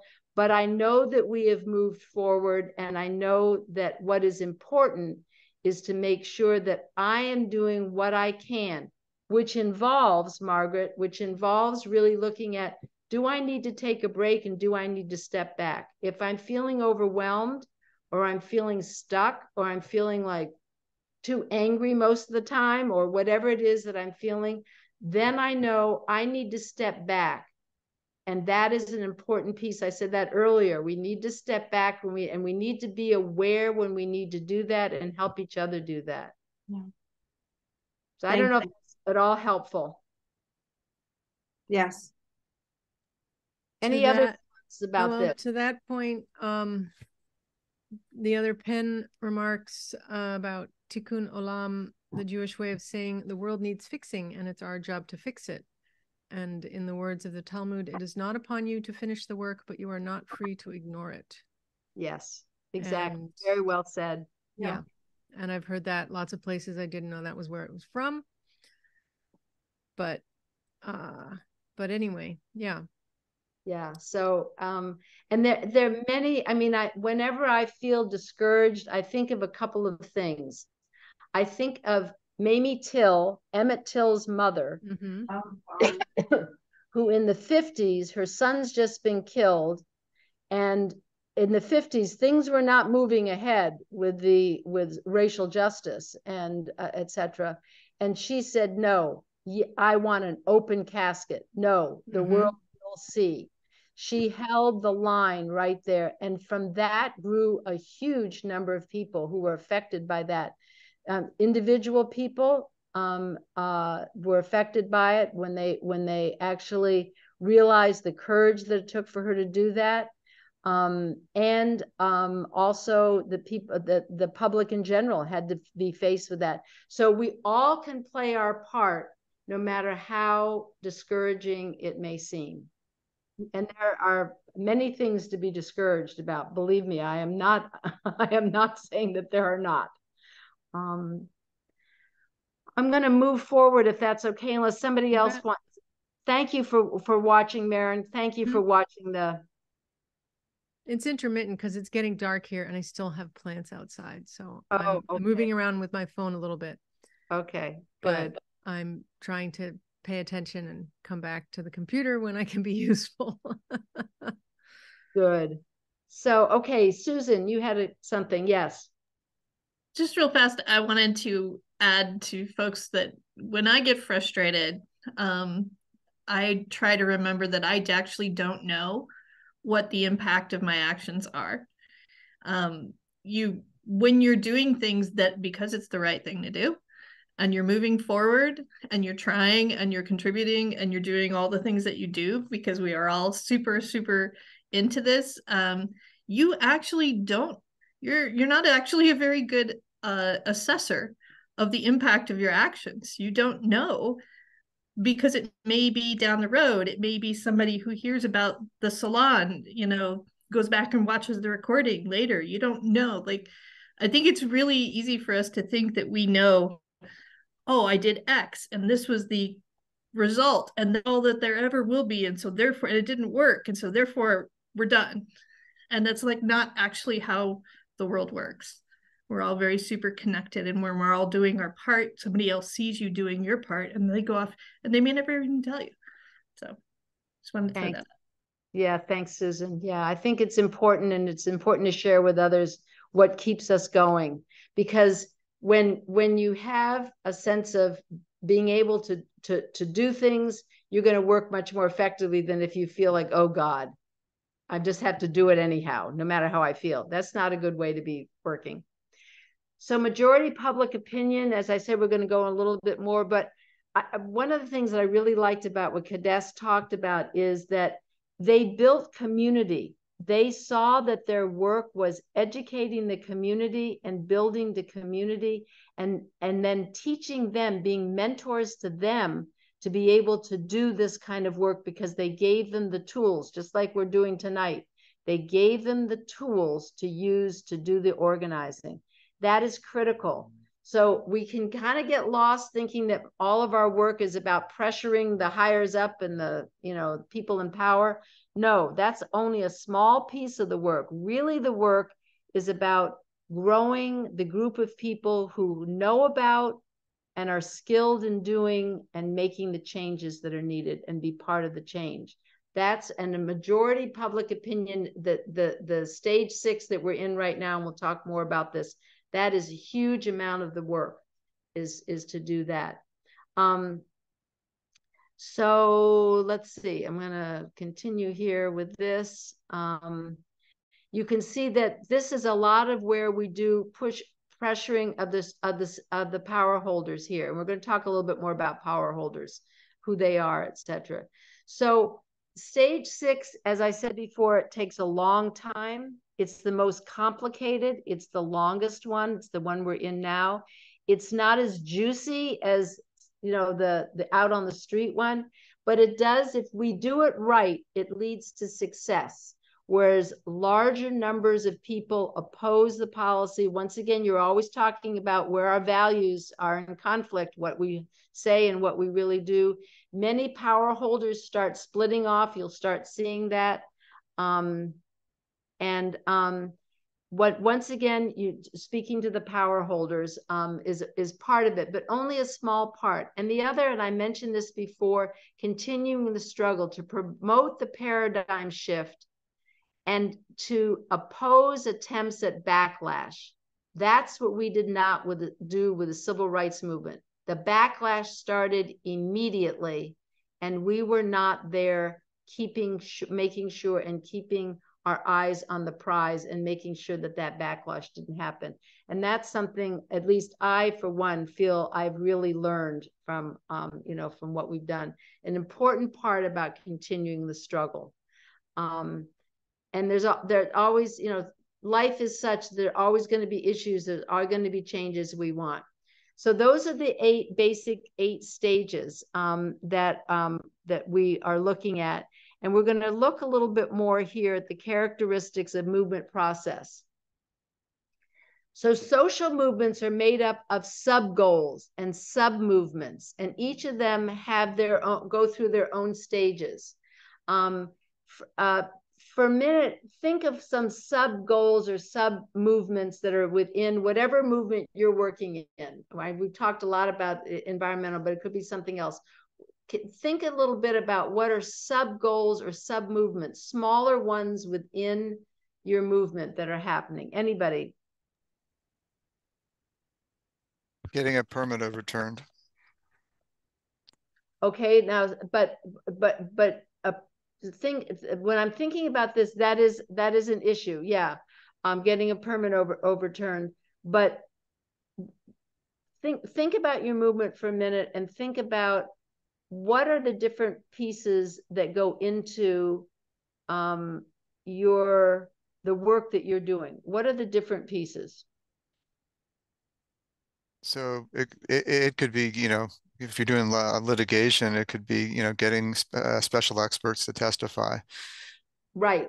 Okay. So the litigation part is one, and that takes a lot of work. You got to get the people together. You got to, I mean, there's a huge amount of work that goes into that.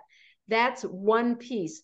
At the same time, you are probably also trying to reach out if you have enough people, and this does depend upon the number of people. So I, I realize this is what you hope is can happen. You also are reaching out to people who've never heard about the issue. That's another piece that's going on. Okay.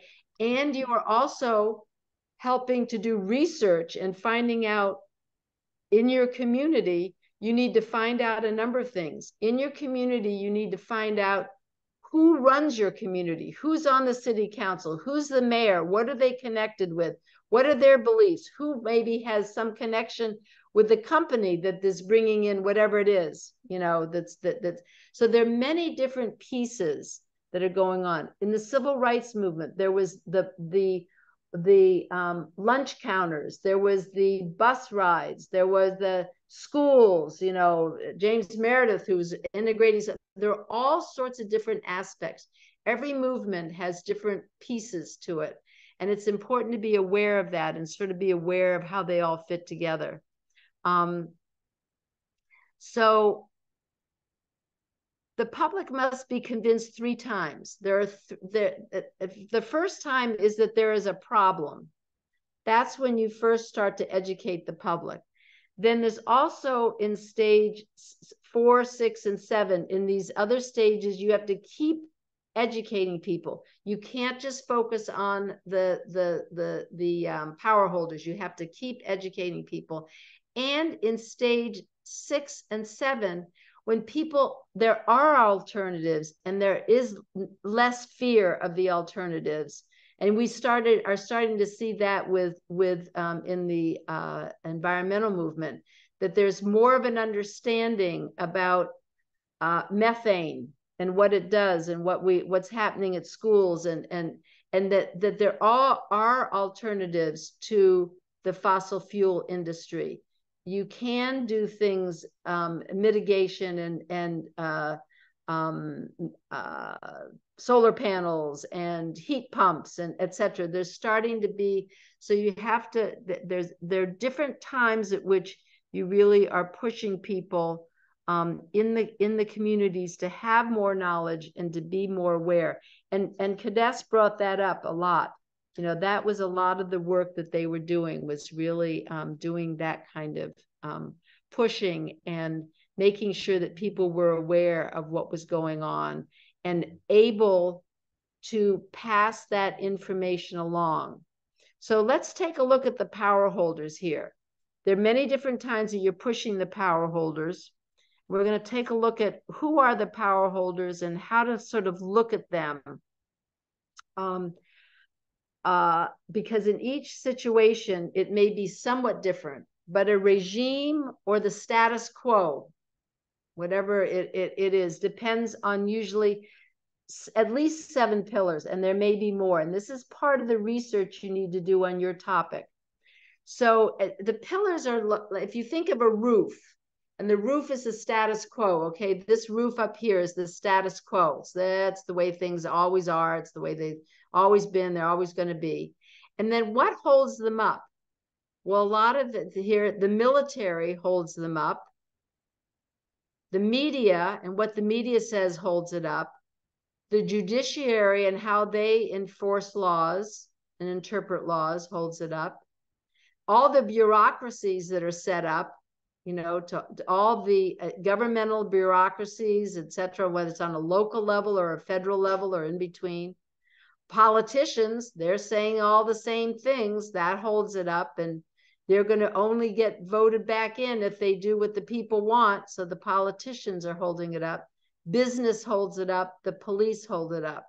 So at different times, it's important to know where where the these uh, these uh, pillars are. Who do you need to focus on, and which ones do you need to start working to bring down? Because once you bring one pillar down, it weakens the roof you bring two down, it weakens it more. You bring four down, you see what I'm saying? You're weakening these, and that's where the work comes in.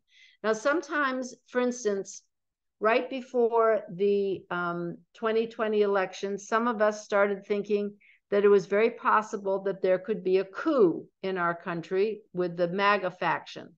So we had to do some assessment. Who do we ha- who did we have to look at? Well, we had to look at um, did we have to look at the military fortunately we did not feel like we had to look at the military we were not afraid that the military was going to step in and do what the maga faction and the at, at the time the person who was in charge wanted wanted them to do. Um, we did think we had to look at bureaucracies and we we all that you know Raffensperger and all those people who were called and all the pushing that happened and had to we had to look at bureaucracies and see where people were. Obviously politicians we had uh, insurrectionist politicians who are now in office and were in office we had we had a question about business. Business started to change but that was some so this is some of the things you have to look at. Every not every situation is these really tight and are uh, the key. Everything has to be worked on at once. You have to kind of evaluate with your campaign where are people on this? And that's an important that's part of that investigating work that i said sometimes people don't want to do but it's critical so if you would all like to do investigations please please do that it's much easier now to do it with um, google and, and uh, internet and so forth than we ever had before but this kind of investigation is really critical for what, what we need to know. And uh, you need to know also what's going on in your community. Need to know who's in power in the community, as I said before. So there's lots of investigation that we often don't do that we should. Okay, this is sort of the emotional state of where people are. Up here is kind of the enduring crisis that's going on and then there's the uprising, and then it peaks, and then it falls. So often people growing public anger here, which I, am going to take what happened with Black Lives Matter because it's the easiest for me to point out. Growing public anger was happening. Trigger event, George Floyd.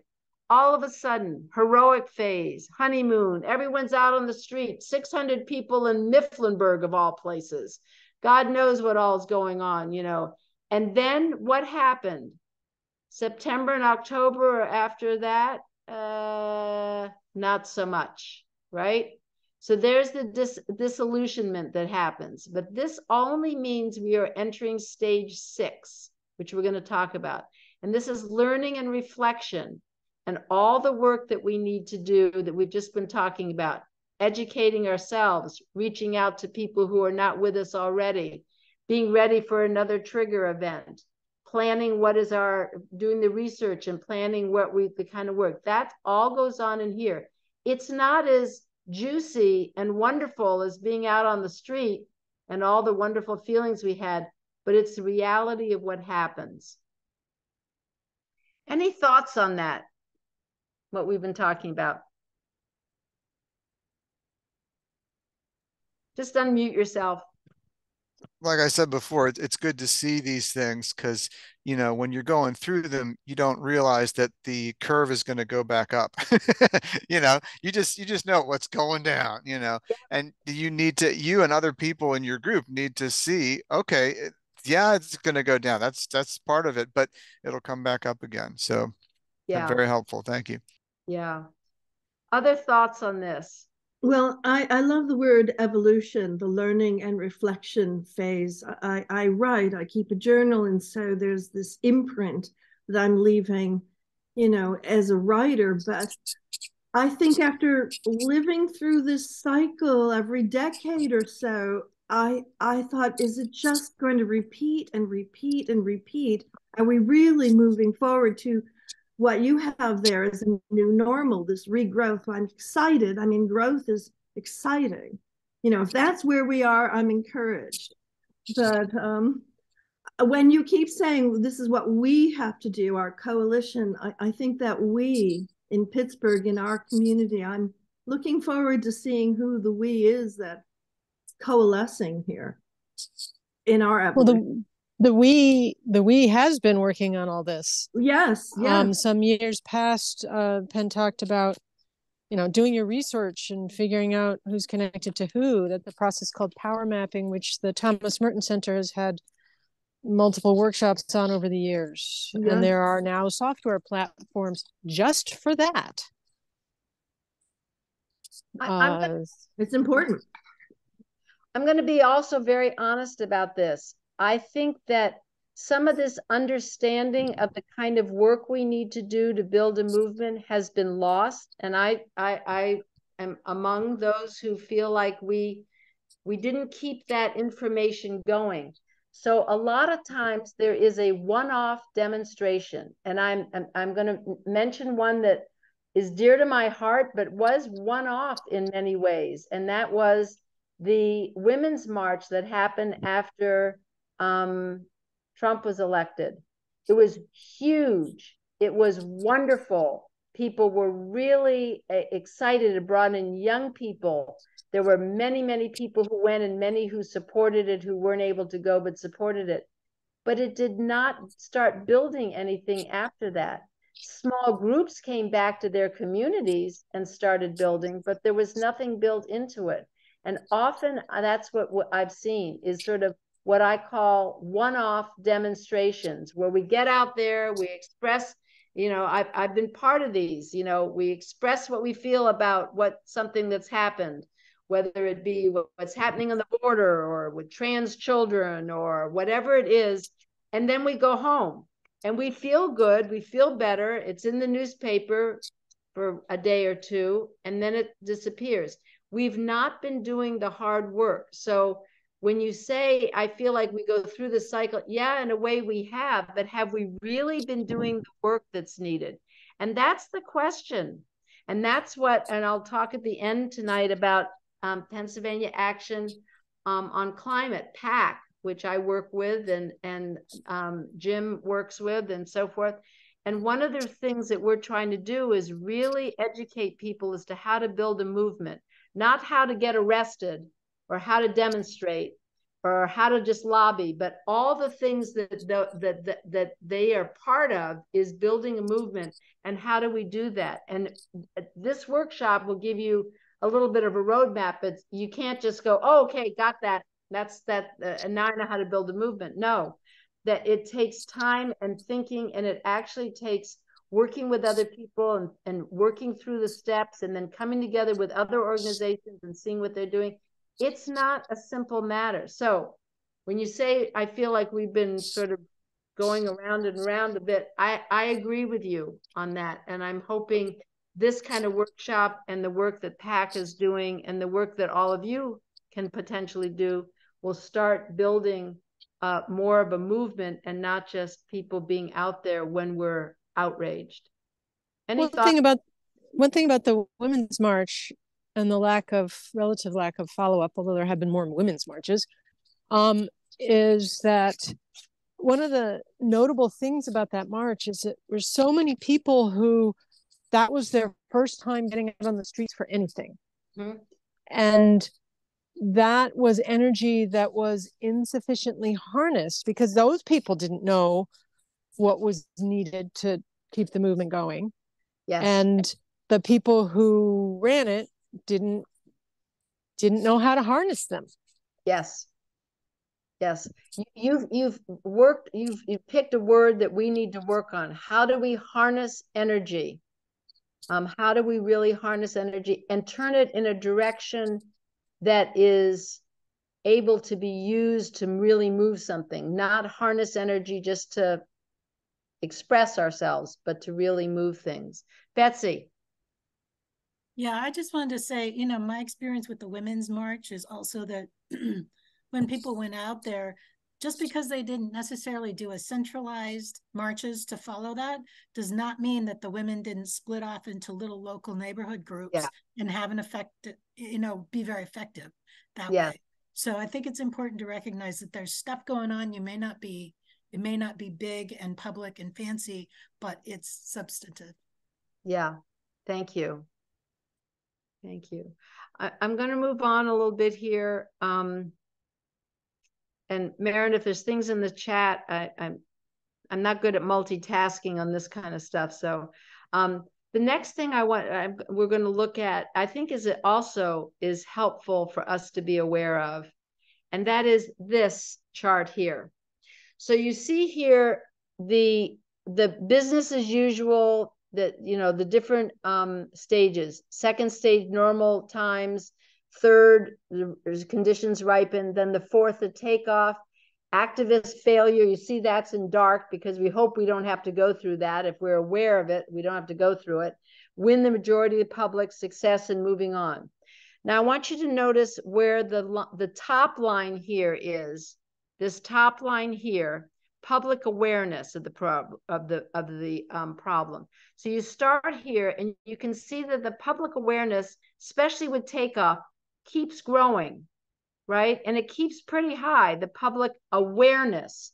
Awareness does not mean activity; it means awareness. That means that people who normally are not thinking about these things go, "Oh yeah, I heard about that before." Yeah, that's what a public awareness is. Um, now look at the public opposition, this line in the middle here. So no, when nothing's happening, very little public opposition. But look what happens here. Where does it go? It goes right up after takeoff. Public opposition, those who are fighting against us, those who believe in white supremacy, those who don't want trans children to, yeah, we're talking about those people. So notice when the majority of the public during this phase, where is it? It's peaking. There is pushback. There is a lot of pushback, and it stays pretty high. And this one does not feel very good. And this is the one where we're seeing a lot of it right now out of Florida and Texas and God knows where and locally.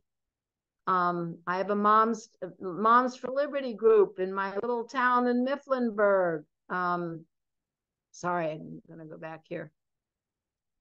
Um, so this does not feel good, but this is this is what happens. This is part of what happens. The public opposition happens while we're fighting as hard as we can, and people are aware of it. Lots of public opposition. Being aware does not mean you're against it. Being aware sometimes means, oh, time to start a Moms for Liberty. Now I want to say something. The moms who go to Moms for Liberty in my little town are not the ones who really, they're going for different reasons. They are going because they're not happy with the schools and they have other issues, but they are being used by people who are using that, that, so that using Moms for Liberty as a way of pushing back. So this is uh, not just public public uh, there's also people who are making it happen who want to stop things and are using people to do that. Last one here the public support. Now look at this. Look where opposition is and where public support is. Starts small oops keep this stop starts small here grows a little bit doesn't really come up very high until success. all during this time, look at the difference between public opposition and public support. Pretty darn big here, right? So if it is if it's not feeling very good, that's why. Because public support doesn't come up until you finally it's already part of it's the water you start to swim in. Oh, oh yeah, okay, we can't discriminate. Uh oh, okay, I guess that's right. We'll just have to go along with that. And after a while, it's like, yeah, that's the way it is. So public opposition is always going to be stronger and it does not feel good. And right now, here's where we are in six. Here is the opposition, here's the support. No wonder why we don't feel so good. What, whatever it is that we're in, if we're in, you know, certainly climate, etc. So I just wanted to point that out because I think that's an important piece. Any any thoughts on that?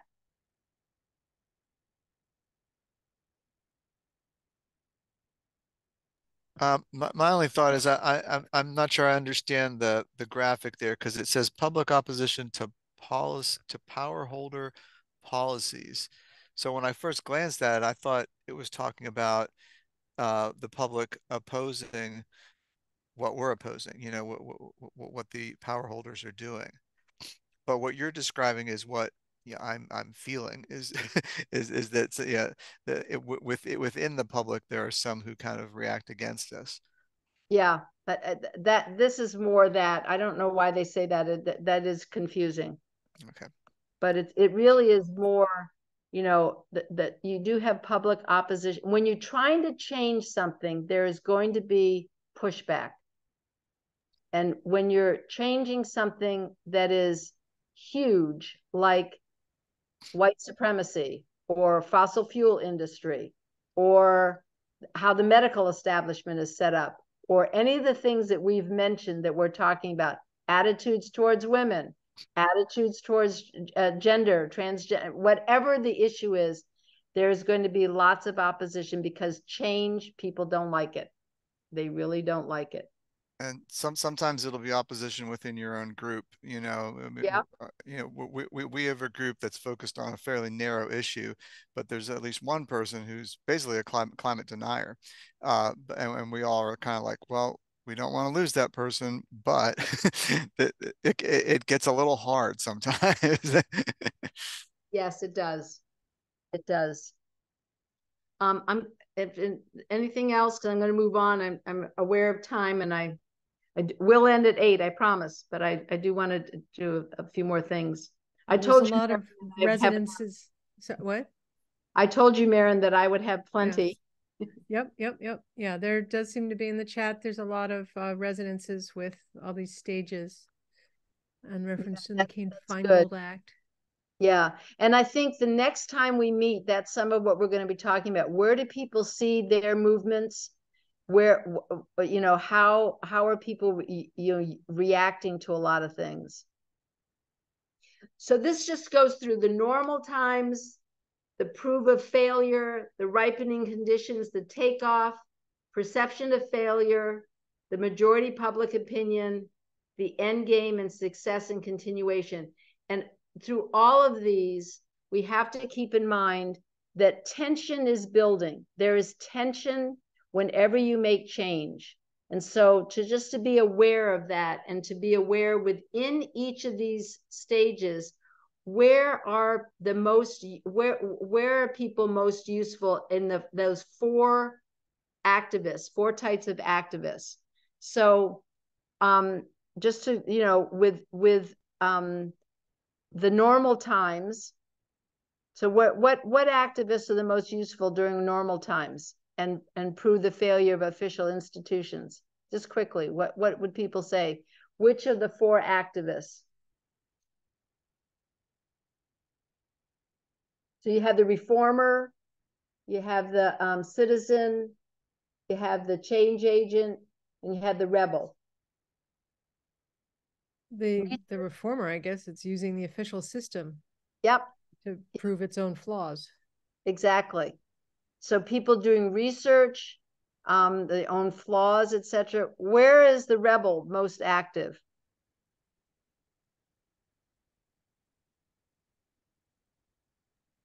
Takeoff? Yep. Yep. Out on the street. Out on the street. And then what happens then when they when when that changes and you what's going on in the majority public opinion what's going on in in in in six afterwards what what change a what what people do you need for that one doug you're muted doug the networkers.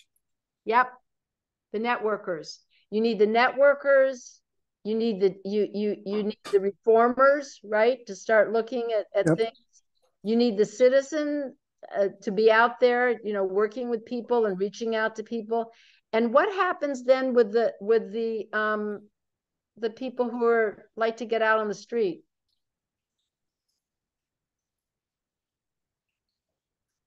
Mm.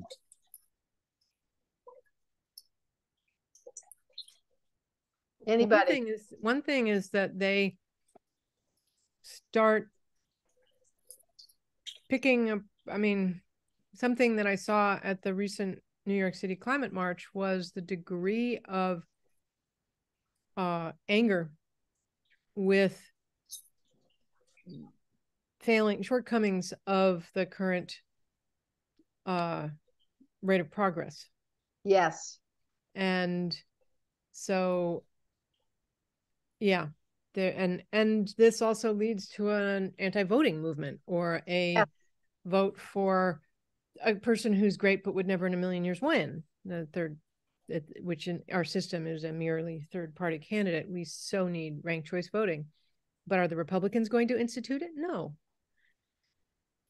Exactly. No, that's that that's that that's the important piece to remember here is that they've been front and center. The ones who who the, the demonstrators have been out there, the ones who are out feel comfortable being out on the street. And suddenly they're that piece, eh, it's not that they're not needed, but that aspect of their work is not needed. So if they don't have other ways of doing political work, they're going to be feeling left out. And it's going to turn to you're not doing the right thing we were doing the right thing and then there's a lot of infighting that goes on. And just to be really aware of that that's one of the major things that happens in stage 6 and one of the ways to deal with that is to say once again there will come times when we need your energy to be out on the street. But right now we need to do other work. And if you and to say to them we're in stage six. That's not that's that's the networkers' time. That's the reformers' time and the citizens' time. Your time will come again, but not right now. And to really tell them they have a role to play, but don't let them get you or other people angry or upset or push you into doing things or feel like your work is not needed. The perfect is the enemy of the good. Yep. And and when perfection is seen not only as result but as type of process. Yes. Um so we one trick ponies. Yeah are only uh, have limited utility to the movement versus more uh, versatile yes. actors. Yes so that's one of the reasons why it's really good if you can, you know, if you can make sure that you have other skills. If you're somebody who likes to be out on the street, that's great. That's wonderful. Um, but you need to have other skills because otherwise you're going to, you know, kind of get lost. So we're going to move on to i know i should be giving people a break but i i really want to get sort of get through this. Are we okay with just going on a little bit more? Some people might uh, find it necessary to drop yep. off but yep. i think they've heard that there is going to be a recording and so yep please do. Um, that will also help catch up people who want to come in november and can't aren't here now. They can get a leg up uh, by seeing what we've been talking about today. Yes. Thanks, Maren. Yep. please, I'm, don't don't stay if this is too much. You, but I do want to touch on all of this. So there's a lot to say. How is the map model useful? These are some of the questions that when we meet next in November in November in the next meeting, we'll be talking a little bit about that. So if you're going to come to that meeting and you are working with the movement, I, this this would be some of the questions. Um, and this these you actually could write down, but just be thinking about how is the map model useful, and does it show what is going on for us? Where are we in the model, and what does the model say about what we have to do next? I'm going to actually focus on stage six because I think that's the stage that the environmental movement's in. And I call this moving the movement because it's moving the movement forward and it's not sexy and easy to see. And it's very, uh, a lot of hard work and not all of it is fun. And um, it's hard to keep track of everything. But that's where we're going to start looking at stage six and some of the things for stage six. Um, one of the things that is important, as I said, stage six, the, uh, most of the work of stage six is really the work of making sure that you reach out to a lot of people. Um, that is really important in stage six. That's what we, we should be doing. And, and um, I can, I do a lot of work with people uh, about how to reach out to people who are not of like mind and don't have the same views as us but are persuadable and how to message things etc so reaching out to larger groups of people than we've been working with and how to build a larger base is part of it. So so it's time figuring out what's next is not a formula but it's also not just more of the same. We have to do something different in stage six. It's time to move the movement from the streets to the specific halls of power in question. And that's in addition to the work that I said about reaching out to people. So it takes analysis and insight. I've referred to this before, and if you work with me, you'll hear this a lot. Power mapping, your community, whether it's the state, the country, or your little small town, your power mapping of your community is important. The other piece that's really important is to look at those who are making the problem. Who is, is it a company that's making the problem? And then sort of know more about that company. Is that company get money from banks? Then look into the banks and look into that. Are they in alliance with and, and being supported by government agents who shouldn't be supporting them? Then look at the government agents. There's lots of power mapping that you need to do about the, the, entity that's causing the harm. Um, and then you want to look at the large levers. Where, what would be the most powerful thing to change that? And that's takes a lot of thinking and a lot of not just thinking in your small group, but with other people. And who can you connect up with? And I think Kidest talked about that, that, you know, they were doing things at the same time as other um, people were doing things, in, um, actions, and being in touch with them. You have to stay so analysis and insight, huge piece. And this is a huge piece that we often don't do. Just want to put that out. Must stay responsive and nimble. She talked about that, uh, uh, about how they come back with something now, for instance, in the in the um, move in the uh, uh, uh, movement that the, the the climate movement they're coming back with you know good carbon you know good uh, uh, uh, all sorts of you know how to use right in my area we're fighting they want to take plastics take them all together melt them down wash them off using the susquehanna river and redo them in other plastics. Well what good is that? You know so you have to start looking at there you have to be nimble because they're going to find ways. Look for opportunities. Ex- anticipate their response and their pushback and stay on the uh, offense not just in the streets but on the offense and educating people in what you're bringing forth. And, and, in pennsylvania there was just a the democrats got together and did a um, uh, a piece of legis wrote a piece of legislation. It's not going to pass because just Democrats, but that's being on the offense. You know, not not being on the defense, but staying on the offense. Um, so that's some of the work that needs to happen in stage six. I'm going to talk a little bit um, specifically about um, in stage six some of the things in terms of pushback that you're going to get because um, so the main work of stage six to create social change through long-term grassroots struggles with the power holders. What's your organization's primary focus and what issues are you working on? These that's some of the research to come up with the answers of that and what's the the best way of of, of, of doing that. So the research part and understanding where this long-term campaign is going to go is is is critical.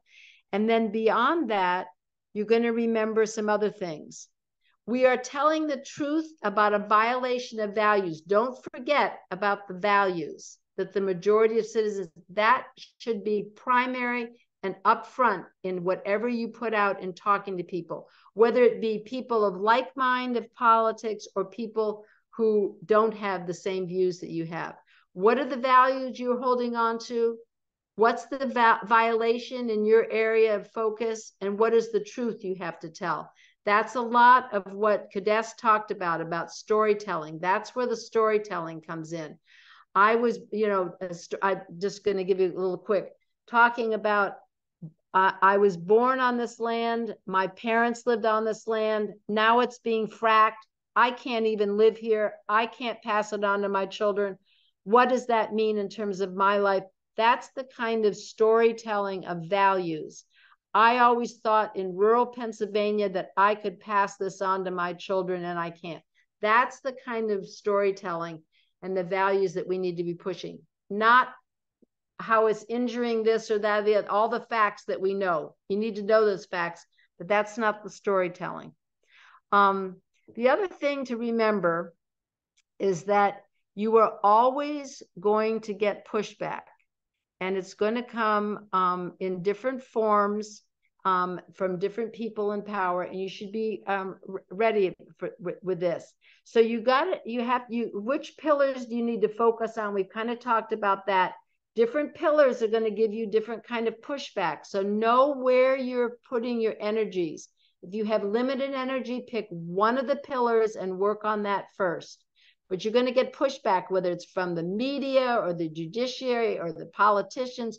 You're always going to get pushback. But sort of look at where you're you going to put your your your energy and there might be a pillar that's not even there that's part of the work of what you're going to be figuring out so when you do get pushback um, and it's kind of important to see um, that um, you you you want to keep focused on the issue and keep it in the society spotlight so letters to the editor meetings open meetings focusing on educating converting the general population.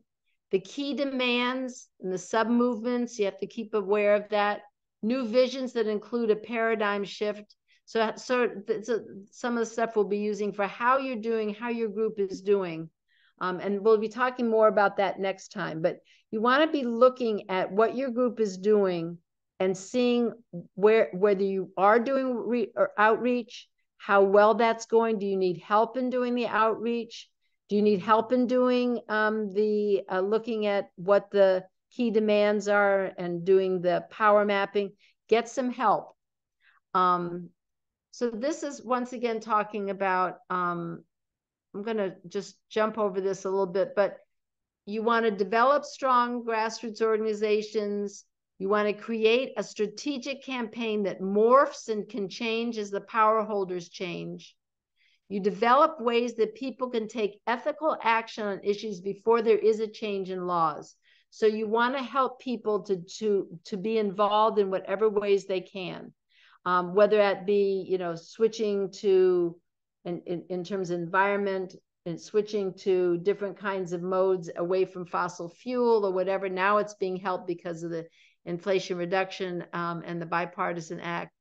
Um, you want to build an active coalition of organizations. So this is bringing different organizations working on some similar things, somewhat different but similar if it's environmentally based, expand the work to mainstream political and social institutions and processes. Some of this we'll get into more about how you reach out to people and using nonviolent action activities when needed. And that when needed is really is, is really important. Um, so some of this we'll be talking about next next time a little more and, and sort of thinking about your organization and and looking at how well you're doing or where you need help and what kind of help would you need um, to do that. Um, so one of the things that you will get is pushback, as I said, um, and that's something to be aware of and to be aware of early on in terms of what kind of tricks the opposition can use. So here's some common ones I've heard over the time. If you stop protesting, we can negotiate. Actually, I'm going to ask um, uh, uh, Frank. Are you still there, Frank?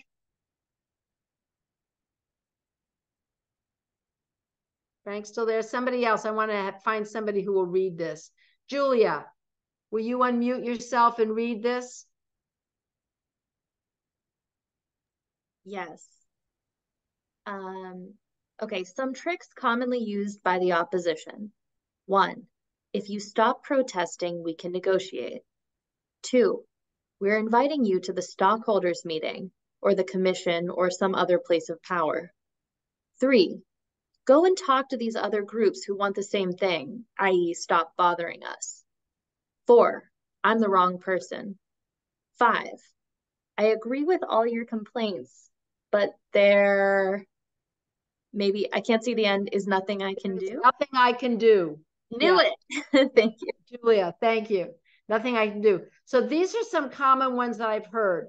Don't let these stop you. Be prepared for them and be prepared for what you're going to say when they say that, because it's very common that the first line of defense for people in power is to tell you, you've come to the wrong person. We're the wrong people. We can't help. I've done everything I can, whatever. Just be prepared for that and and and be ready to do something different when they say that um, and and to really point out what they either what they can be doing or that you don't take that as an answer um that yeah uh Tommaso asked in the chat a question that I want to answer and want to hear your answer that said as a younger activist why is the invitation to a stockholder meeting a trick? Um, and I want to say that my experience in organizing my union felt at times like being in the leadership level that the steelworkers wanted to see a small level of activists get into um, was also an effort to get their ideas into the leadership of our union for us to then tell our members rather than us organizing with our members. So that's kind of how I take that one, but I want to hear what you meant by it. Yeah. Um, if you're being invited, this is a common way of saying, well, two or three of you come to our meeting of 25 people, you know, just two or three of you. We can't have everybody here, but just two or three of you come. Um, and feeling like then you can kind of take people off. I what I've noticed in the new type of organizing that's going on with SEIU and others is that all members are updated. It's not a closed. Uh, just some of us are going to go and negotiate. It's educating people as to um, how to how to deal with um, the, the those in power, going together, etc. So it's a very different. This is a we're going to separate you out. But uh, nothing against going it's going to stockholders in large groups, going to stockholders meetings or whatever. I'm, I'm not against that, but just when it's separating you out, that's the problem. Does that answer?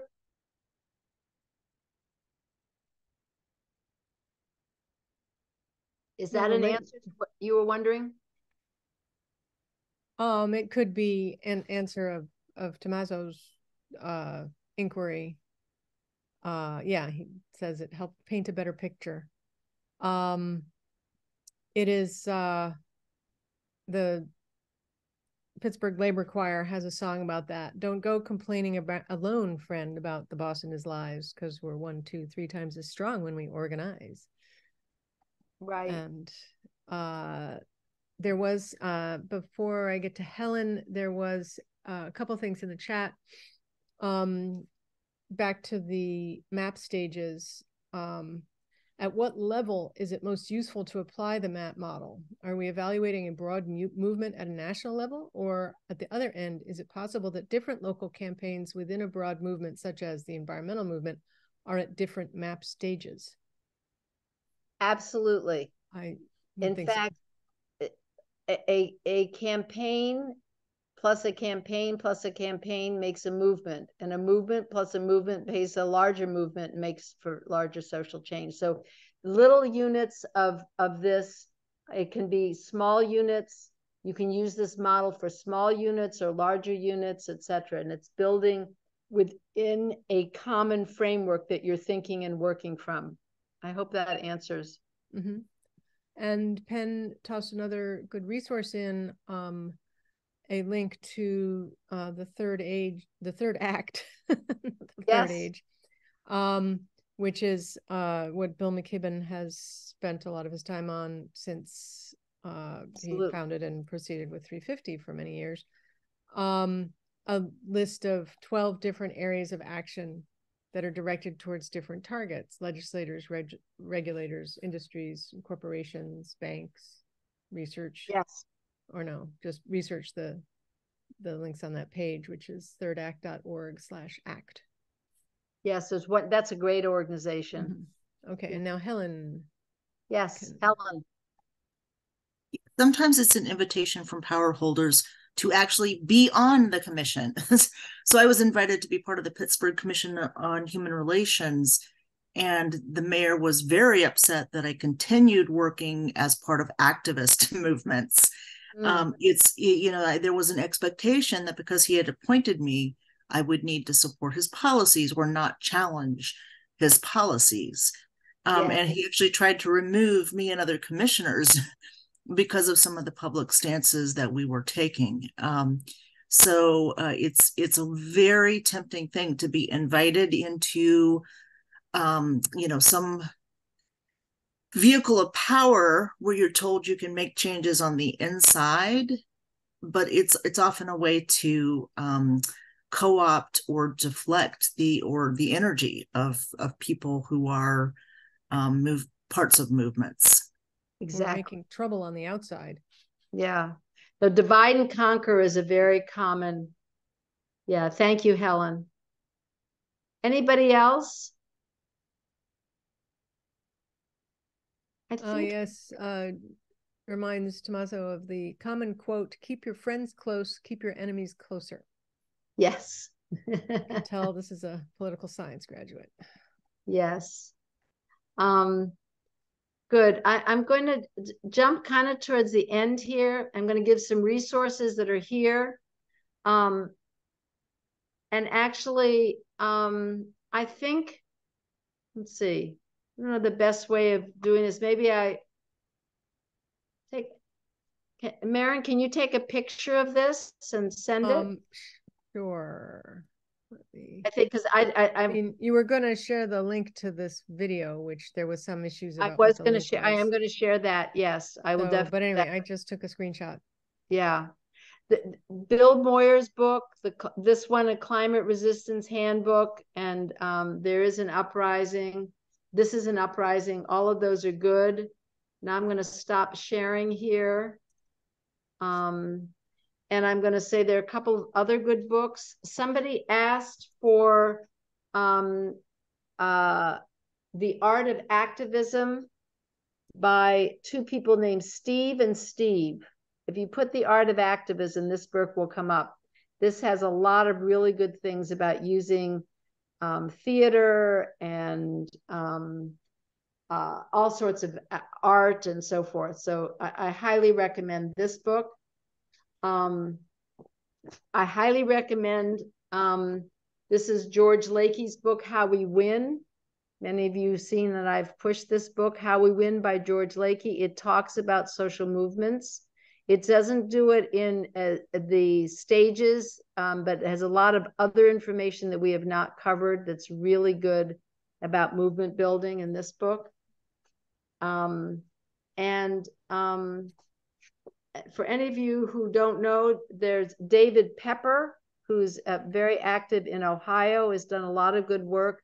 His book, um, Laboratories of Autocracy, explain why the state, um, our state legislatures are our dangerous spots right now. We're seeing that. Don't have to explain that to people what they're doing. Mhm. And this book, Saving Democracy, is a book about how to reach out um, it's it's electoral politics oriented, but it can be used for any. And I'm using it in a workshop that I'm doing of how we reach out to build our base among persuadables.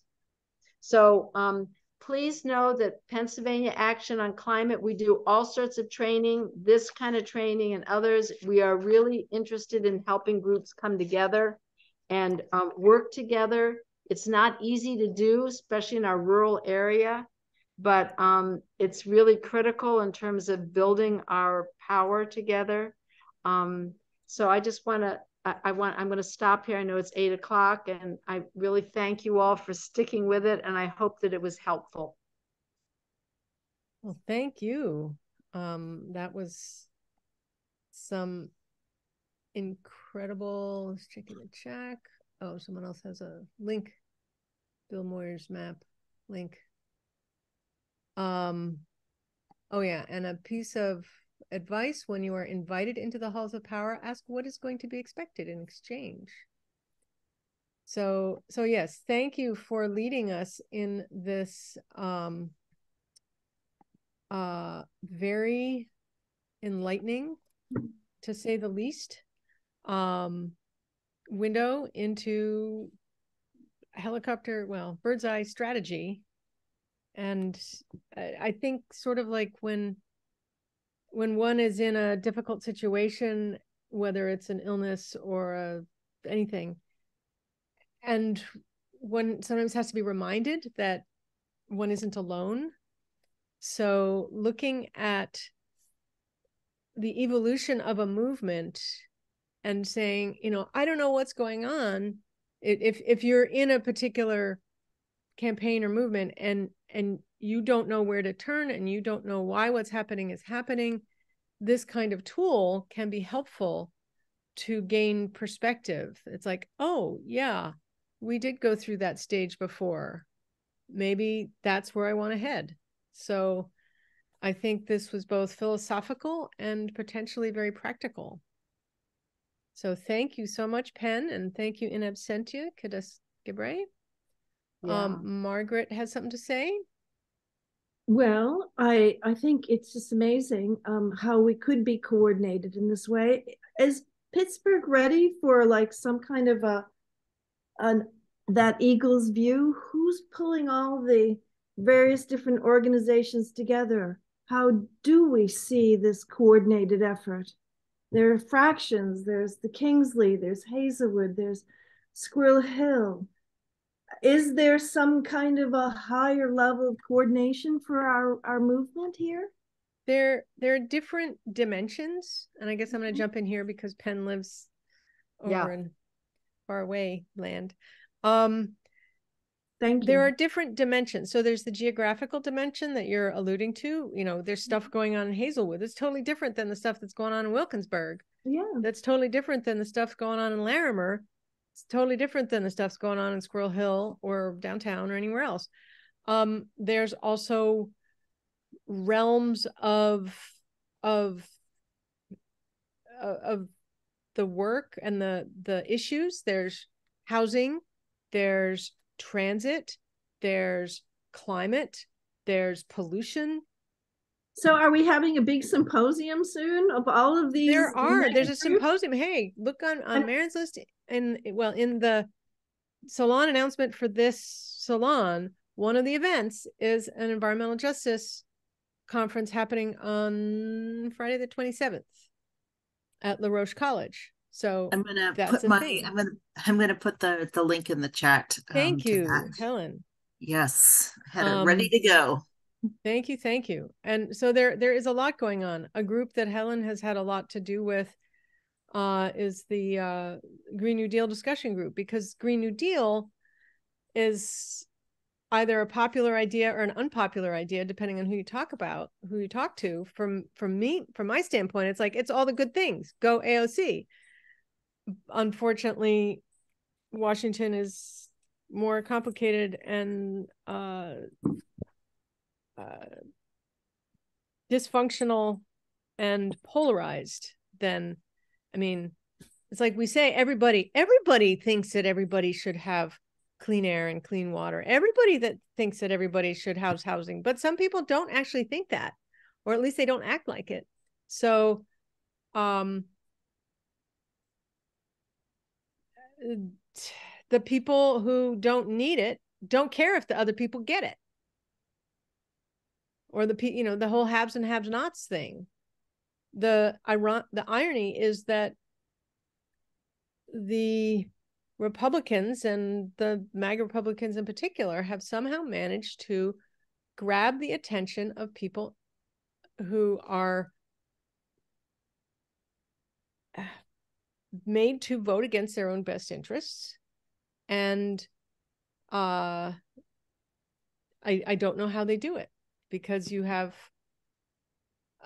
you know obvious policy disjoint and I is disjoint from what they're saying. And that's the values versus the actual policies that Penn was talking about.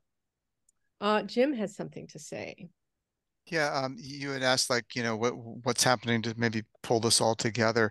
Uh, back in uh, March, uh, end of March, March 30th, 31st, uh, Penn was part of uh, uh, a, conference workshop that we had at Slippery mm-hmm. Rock mm-hmm. University. Um, we called it the the Campfire Gathering. Uh, George Lakey was was one of our main featured speakers. He was there. Veronica Coptis um, and uh, Michael Bagdes-Canning was there as well. And and we, we kind of started a process of trying to get groups, especially in Western PA, um, working together. And mm-hmm. Um, and you know we, we had a number of good meetings. I think uh, somewhere towards the end of the summer, yeah, everybody got busy with the, the, the convergence and other things, and, and you know we didn't get as much done as we wanted. But we we would like to jumpstart that again at some point. Um, getting groups. Uh, I mean, the first step was the groups had to get to know each other, and and we've started mm-hmm. doing that. Um, but because uh, a lot of times uh, that that mouse vision uh, that that uh, yeah. Penn said w- was really a good analogy. Is like you're you're so focused on your own thing that's what I'm you, saying. you don't even realize, you know, mm-hmm. like we didn't real our our group's a, a Slippery Rock Grove City based group. We didn't realize there were two other environmental groups in in Slippery Rock, you know, just mm-hmm. for, for like years, you know, and nobody had connection to one another, you know. It, that that's how how how siloed you get sometimes. Mm-hmm. Um, uh, so so that there is that we're going to try to do more with that and maybe next month when when we we reconvene the salon maybe we'll have some more we can talk mm-hmm. about with regards to that and the Pitts, I mean, Breathe project for issues that relate to air quality and climate, which go together hand in hand. Um, the Breathe project has tried to provide some of that bird's eye view and st- strategic thinking. And Matt Mehalik, who was here for a chunk of today's session and will be here uh, next week, we'll talk more about that. Um, there's a Pittsburgh Climate Action Network. I mean, years ago, I was involved in getting the um, climate reality leadership um, group started in our region after the training was done here in 2017 and there was um and i was thinking you know and every group is trying to be like we are the go-to climate group or we are the go-to air quality group. And mm-hmm. we're going to have a calendar that everybody's going to look at and everybody's going to send their stuff to.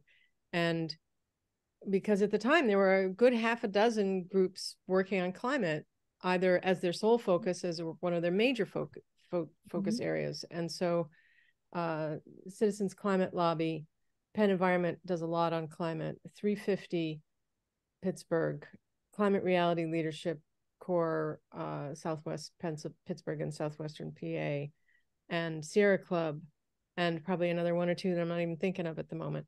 And uh, and then there's student groups on campuses and uh, 350 yeah, helped that, get started a as a network, but it was right before the pandemic, and so the meetings kind of fizzled out. But that's being revivified now. I mean, that's what I remember. I mean, I've been with you in most of that, you know, semi subgroup organizing. And I think prompted by this wonderful conversation. And I think when we met again at the farmers market, it's like, I, I'm actually hoping to see in the next period of times, uh, you know, that major conference, you know, so that we see what we're doing. We we lay it out, the analysis, the hard work of the analysis of where are we locally, what have we accomplished in our diverse groups, what are the communities doing, and then pull us together because I I think we do have to be coordinated if we're going to be successful. And I haven't seen it in the 10 years that I've been working at this too. I was a part of the climate reality and all of the training. And it just seemed to fragment after that. There were so many leaders taking on a role, but I don't see the all of our movement with a strategy that I know of, that I know of. There's a lot of meetings you don't go to, Margaret. Believe no, me, I'm you're not. probably well, happier that's the that way. problem. No, I mean that's what I'm saying. Is there a publication? Can we put together some kind of a local, you know, a hub of information where the strategy is placed? This group's working on here. This is great. You know, plug in somehow. If there's a map as to where the push is and how we're coordinating our various different platforms, I think that would be helpful for me to see where I could be more useful. Um, I do. thing- I have gone to a lot of meetings. I'm kind of burnt out on them. That's what I'm trying Um, to revive, remake my own. Yeah, 350 has a newsletter every month. Um, and I'm not sure, Kate, do you know what our our mailing list used to be about 800? I can only imagine it's bigger now. And well, I, I think it's just not Yeah. enough that we have these separate groups anymore. That's what I'm trying to say. well, that's I what the Climate Action Network is trying to do. and who who's together. trying to do who? I mean, climate network. All those groups that I mentioned, or at least a bunch of them. Well, Kate, feel free to speak up if you're still actually with us. So there's a hierarchy of coordination, in other words, and people are doing that. I just not seeing it. No, I, I think, Margaret, that lo- people are trying to do it. People are trying very desperately. And I would suggest that when you get at, at, at a point where you don't feel burned out, that you were one of the ones who said, I like to see the big picture. I like to work on that. That could be part of your work is to do that. You could stay focused on that as part of your work because people, as Jim said, people are mouse vision, you know, because they have to be to keep their organizations afloat and keep going. Mm-hmm. But if you could take that on and work with others to take get some others who are who are are it's not going to just happen. You mm-hmm. know, people are but people mm-hmm. who see that this is the kind of direction we need to go in and not be siloed any longer Mhm. take that mm-hmm. on as their work. So I, I I throw that out to you when you're ready. You are the person who said you like to look at the larger picture. Take that on. You'll find your way. You know. So I just, want, I, I just wanted to say that because once we realize that what we're building towards, what goes into a campaign plus a campaign plus a candidate, we all need to work together. Once we realize that, and enough people realize that, then we'll start working towards that. And it's going to take some people. Jim's, uh, excuse me, Jim. I, I know you well enough to say Jim's his he's mouse vision. He's Ciesra. He's on Ciesra. You don't have Ciesra, so you can be a larger vision. We need people like you to be the ones who do that. Don't expect the mouse vision people to have time or energy or vision to do larger. The people like you who have a larger vision, that's the, those are the people who need to start start keeping the vision on that and that's what that's what uh, pac is working on pennsylvania action on climate and we'll do it for any mm-hmm. any kind of you know we're on climate but we'll do it for Yeah, any and Jim is also lead editor on another monthly newsletter, the Campfire Dispatch, which kind of grew out of the climate convergence and this campfire gathering, which did not actually have a campfire because it was cold and rainy and it Yeah. didn't happen. But It was too expensive to get to get the insurance for a campfire, so Oh, there you couldn't go. do that. But the campfire dispatch, and Maren's one of the editors of that as well.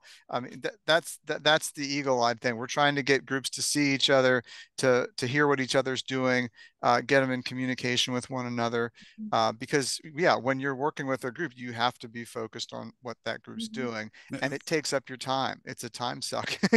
Yeah. it really is. But This we all activism stuff takes effort. yeah at, at- at a certain point you realize what what- the mouse vision by itself isn't enough you have to spend a little bit of time trying to do the eagle vision i, I love that analogy so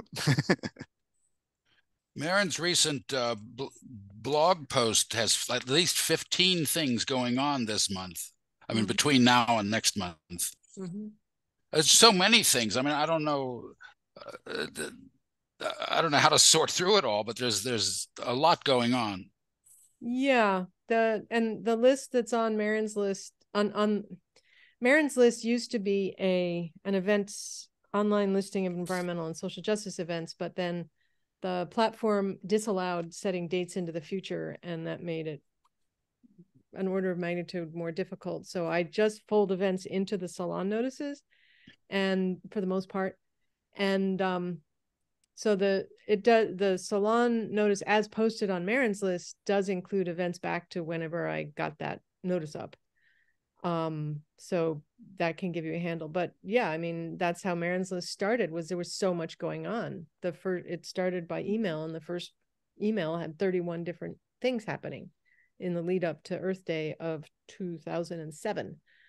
And um so and there have been months with 30 or 40 events So I'm going to have to get off. I've enjoyed being with you. I look forward to, but this is the issue that we're going to be dealing with, looking at e- each individual who comes on their movement and how we can help, but also the larger one. So Margaret, if you have time and you want to contact me, Maren mm-hmm. will give you your my email, and you could take the lead in Eagle Vision. Okay, because that's what you're asking. Where's the Eagle Vision? Well, it's not there as much as we need it. So people like you and others, we need that eagle vision. Um, so I will see you all. I hopefully will see you all uh, on the 12th. I will be there. Um, Maren, you and I will be in touch. Um, But I can do some of the end. I will be uh, some of what I was doing at the end here. I can start with some of that if that's helpful. I don't know. We'll have to talk, see where people are, who wants to come on. Um, I may just be there just to listen and give my Mhm. thoughts as it comes up. We'll, we'll Yeah. talk about that. Mhm. But I think between now and then, you'll be getting the um, two sheets on activists, the activists, and the other, and and the um, uh, the link to the video. looking at the YouTube video. So Mhm. be looking at those things. Very cool. Thank you so much, Penn. Thank you. Thank you all Thank you for Thank you. participating uh, in this very interactive workshop. Um, thanks and- everyone Thank you. Gives me hope. Being on call like this is what gives me hope. Bye, everyone. Okay, bye-bye. Take care. Bye bye. Bye.